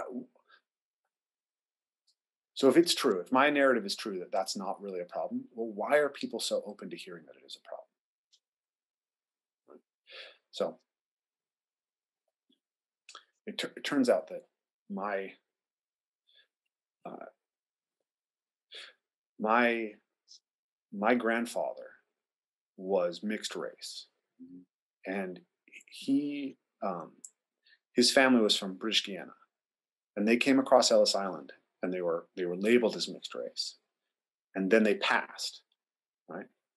And he he he never would admit that he was Portuguese, certainly not that he was part African, and he actually threw people out of his house for for saying that he was Portuguese. He threw my my so so my my my great aunt uh, Eleanor. She I think it was Eleanor. She told my mom and her sisters that they were actually Portuguese in ancestry. And they went and told Jack, my my grandfather, that they had heard that. And I'm like, why did you tell us we were English? And he he he wouldn't he threw them out of the house. He wouldn't listen to them. Right. So it turns out that when we trace the history of that family back, um, I think I think it was Eleanor, my aunt, my great aunt Eleanor. She had married a mulatto man, and he so she had basically kind of lost contact with her family because of that. Right. Then he had um, that man had uh, had a had a wealthy British father, and he was he was raised in like an orphanage for for mixed race men who had wealthy British fathers, and he he was trying to make contact with his father. He wanted to be acknowledged by his father, and eventually he was completely rejected. And in response to that rejection, he took a gun and shot himself in the head in front of his entire family. And so oh. his children were bathed in his blood. And there's like, you know, media accounts of all of this. So then his his wife now without support has to move to New York on her own with her children. So then something happens with my great grandfather. We don't even know. We have no idea what happens. But his family has to move to New York too. Right. And now uh, my great aunt, she she she's in poverty, and so she has to actually give her children up. And my um, my my great grandmother, she she actually has enough money left over from from whatever they inherited from their estates. They own sugar plantations in British Guiana. That she she has enough money to take care of the family, but she refuses to to take care of her grandchildren because she doesn't want people to know that she has mixed race grandchildren. She doesn't want people to get wind that her children are are mixed race. Like that's what we think happened. We don't know exactly. But this is the story, right? So then my my my father, uh, my grandfather grows up basically hiding who he is. Right? My my my uh, my great grandmother tells everyone that she's that she's from Scotland, right? And even though she has a Caribbean accent, and then she but then you know then there's all this trauma in my family and all this neglect and abuse of the children sexual abuse. And and i don't know maybe that's that stuff happens in every family but it's possible that that's part of their trauma of all these horrible things that happen to them specifically because of their racial inheritance right? So now play that forward. So my mom you know she makes choices. She ends up being blind to certain things. Certain things happen to me. Certain things happen to my sister well, you could, you can't know for sure, but one potential causal factor is actually the history of racism. Yes. So yes. that that ghost affects me as a, you know, middle class white male in our society. So if those intergenerational traumas are playing out in my life, I can say, well, how are they playing out for people who it's much closer for? Right. And even if police are not less likely to be lethally violent today, how long has that been true? And how easy is it to believe that it's not true when it wasn't true for your uncle yes. or your father? And so I started thinking that this has to be acknowledged as part of the story, right? Even if racism is not the, this is not the problem that is described as by critical theory, the ghost of racism still has massive implications on people who are living to this very, you know, to this very day.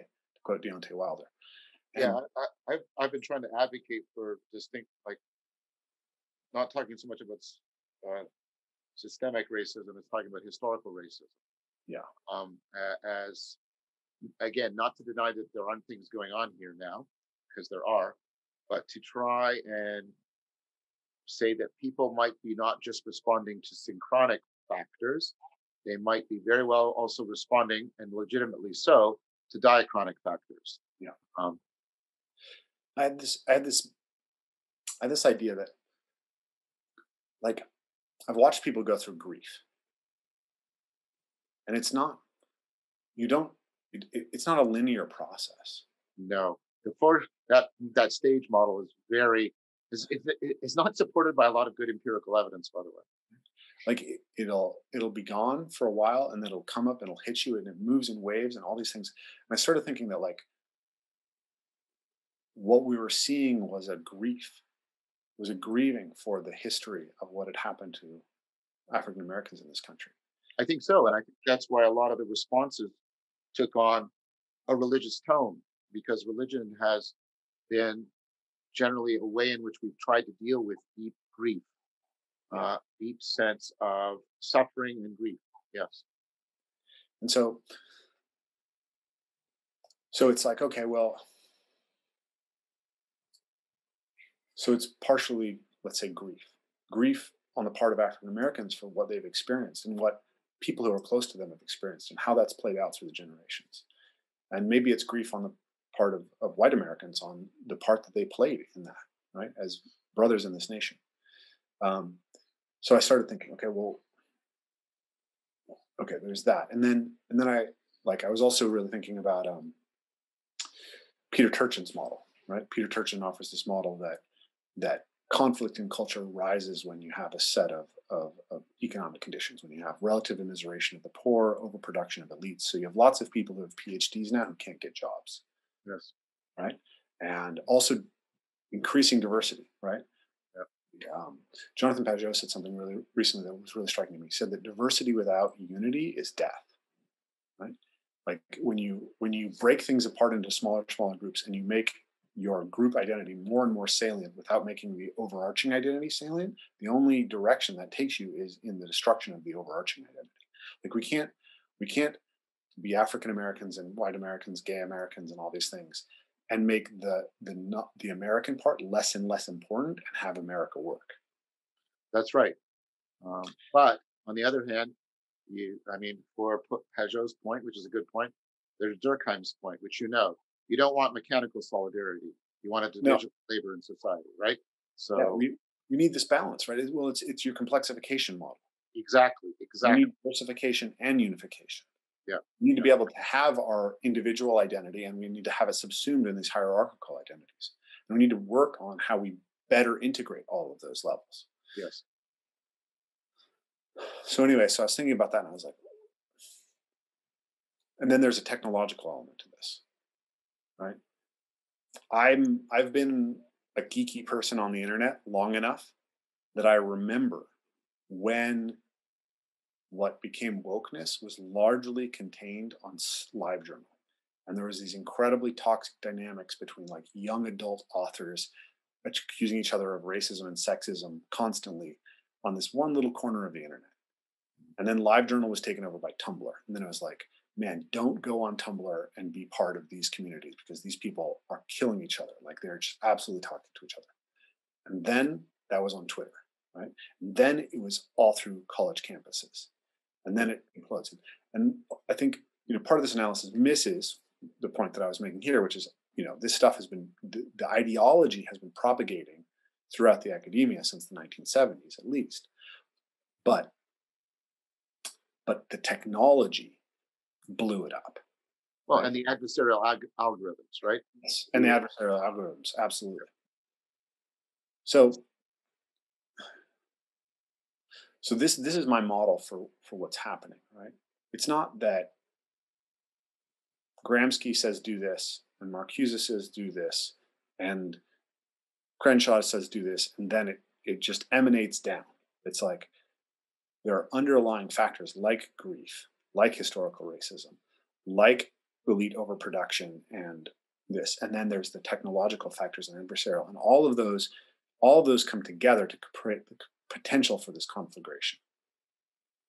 And so when we when we criticize postmodernism, we have to elevate our analysis beyond pointing the finger at postmodern neo-Marxists, right? And say, what, what is this overarching phenomenon? And if we understand it that way, I think we have a much better set of tools to actually address it. Right? I, I, I'm in complete agreement with that. I mean, I, I've been, I didn't get a chance to make that move in the argument, but I was preparing for the argument of trying to resituate my critique in the Kantian sense of postmodernism back within the larger framework of the meaning crisis, because that's what I was, uh, and that what I see postmodernism trying to do is I, I, think it is both a symptom and a symptomatic response to the meaning crisis. Um, and trying to understand it through that lens has been uh, what I've what I've been trying sort of trying to argue towards uh, here here today with you. Um, and so I, I agree with what you just said. Uh, and, um, and and I'm not saying the meaning crisis is the only bottom up factor. I'm not saying that. I've, I've repeatedly said that, by the way. Right. All right. There, there's all these other factors. economic crises. You know. Yeah. Yeah. All, yeah. All of that. All of that. The meta crisis, uh, uh, as Thomas Bjorkman says. Um, so, um, yeah, I think that's exactly right. Um, so I don't. I, I would. I don't have anything to say in, in, in response to that move you just made, other than. And, and I'm sorry. I, I hope this doesn't sound sort of post facto. I was trying to argue towards that sort of thing, where like can we? Yeah, I, I think that's a signal of of a it's a it's a sort of independent verification. Yeah. Right. It's a signal that that um that the, the thought process I'm working towards is is validated by uh, by somebody I, I deeply respect. I mean, I wanted to lay the argument out for you for how I was seeing the bottom up aspect of it and get your um, your take on it. Is there is there is there a factor I've missed? Is there something that and then so there's two questions, right? Is my anal- is my analysis of the factors solid? And is there a way that that we can strengthen it? And then if we understand that what does that actually tell us right? Like i've been looking at james lindsay and sam harris and these other people who've been sort of trying to argue against the woke. And i've said like your logic is is is really strong and it doesn't seem to be working. Yeah. And so i don't i think that there's another move that needs to be made. And i think that that move that move has something to do with one empathizing which is like okay your your description of reality uh, as systematically racist isn't accurate but the emotional antecedents that that predispose you to it exist for a reason and that needs to be validated and understood. Um, and then my, my my pitch would be that fundamentally the, the, the, central problem that we have is that we have no system that orients us towards virtue and the develop and, and tools to develop virtue. And that in order to fix that in order to fix the problem that's ultimately what it comes down to.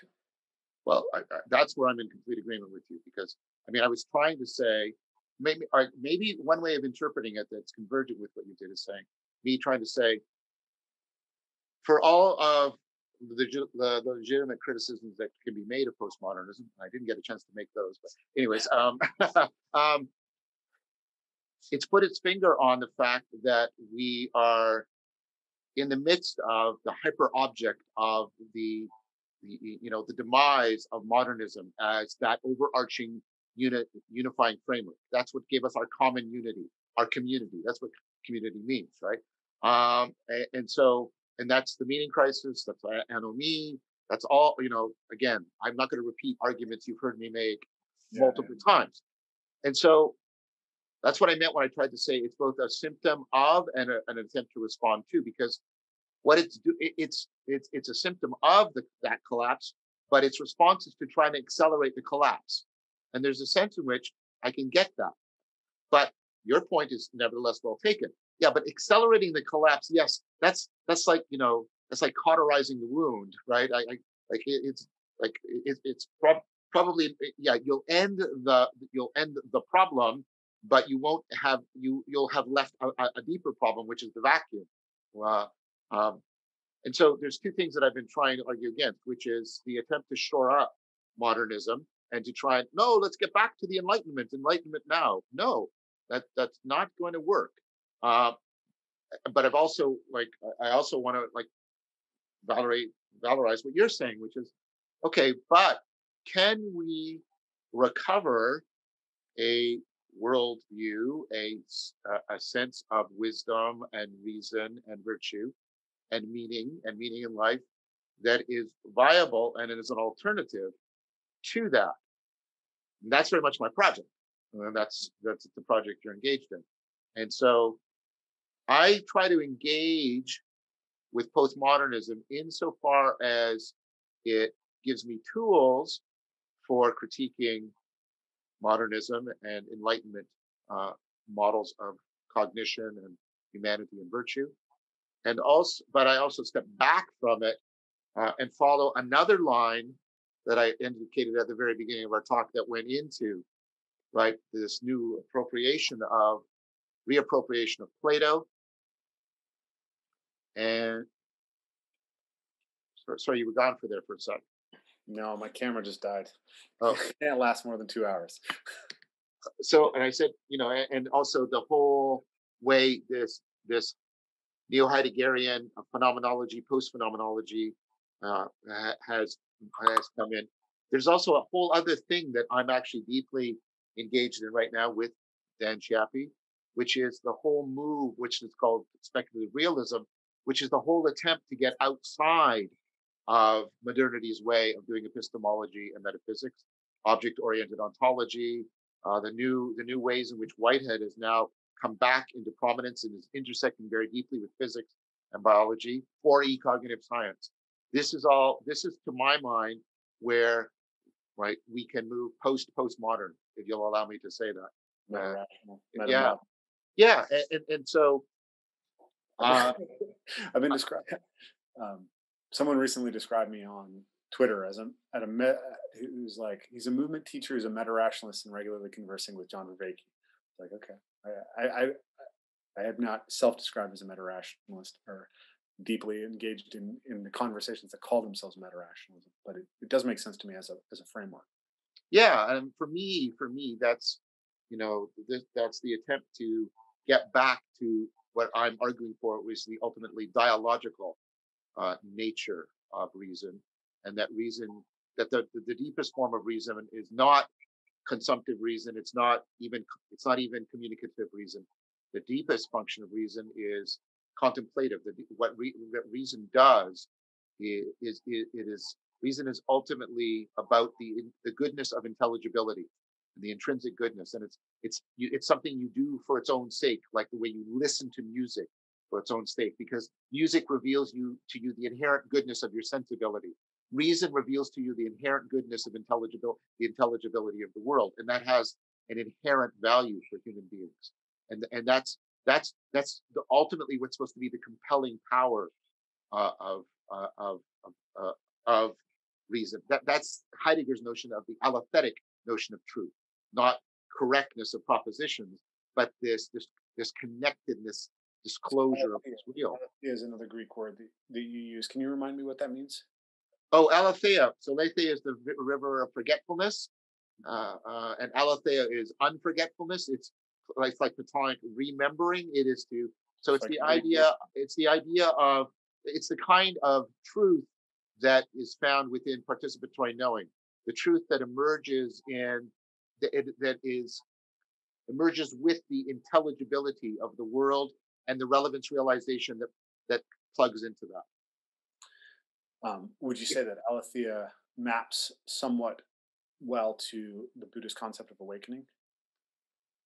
I think when aletheia is properly functioning to orient perspectival and procedural and ultimately propositional knowing, such as to system- systemically and systematically reduce self-deception and afford enhanced um, integration in the world. The, when aletheia, if I'll put it in a slogan with A's, when aletheia affords anagoge, that's awakening.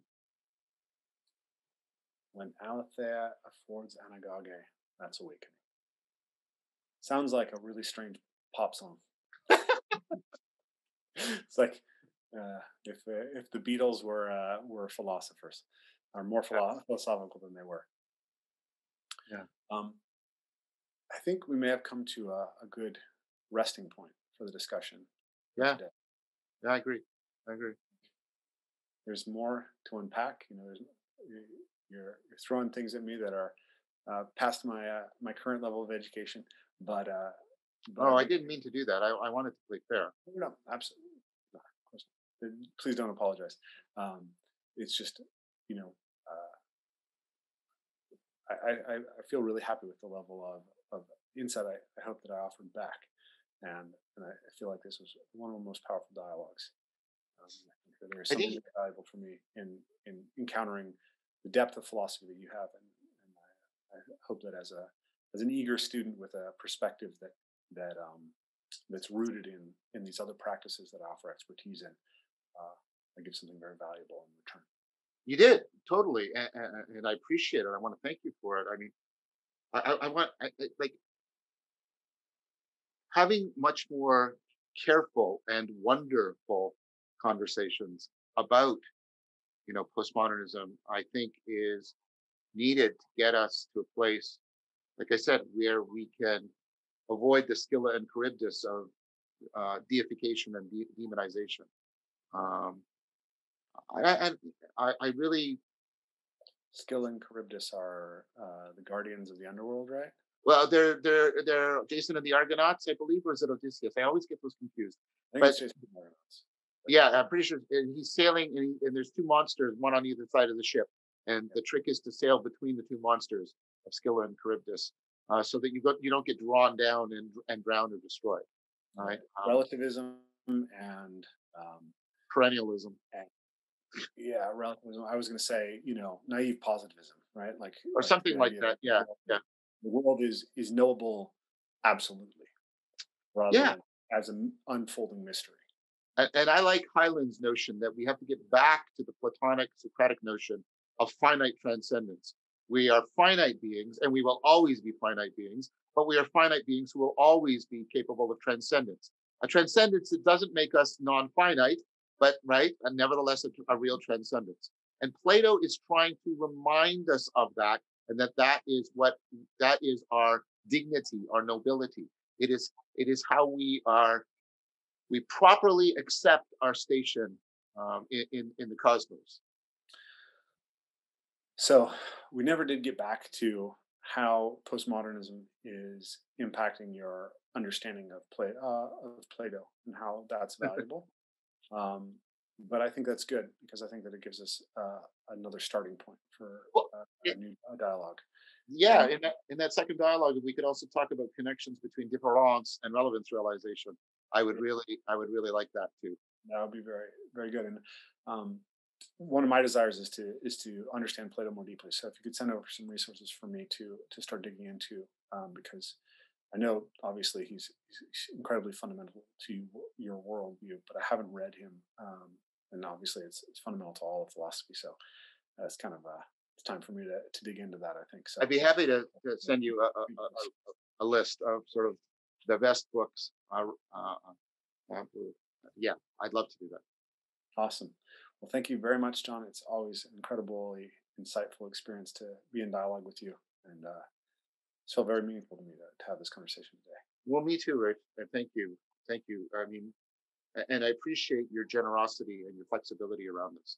Um, and so, thank you for that. Awesome. Hey, you've reached the end of another Evolve Move Play podcast. If you enjoyed what you heard, if you want to be involved in the conversation, please consider joining us in our new membership subscription so you can get access to question and answers with our live speakers once a month, question answers with me once a month, and a dedicated forum to discuss everything going on in the podcast, as well as a general discussion of movement on our general movement forums. If you're interested in that, make sure to check out the link below, get signed up, and join a part of our membership community. If you can't join our membership community right now, it's still always helpful if you can like, share, and subscribe, and even hit that bell and get notifications for upcoming Evolve Move Play podcasts. But adios for now, and we'll see you next time. Thanks, guys.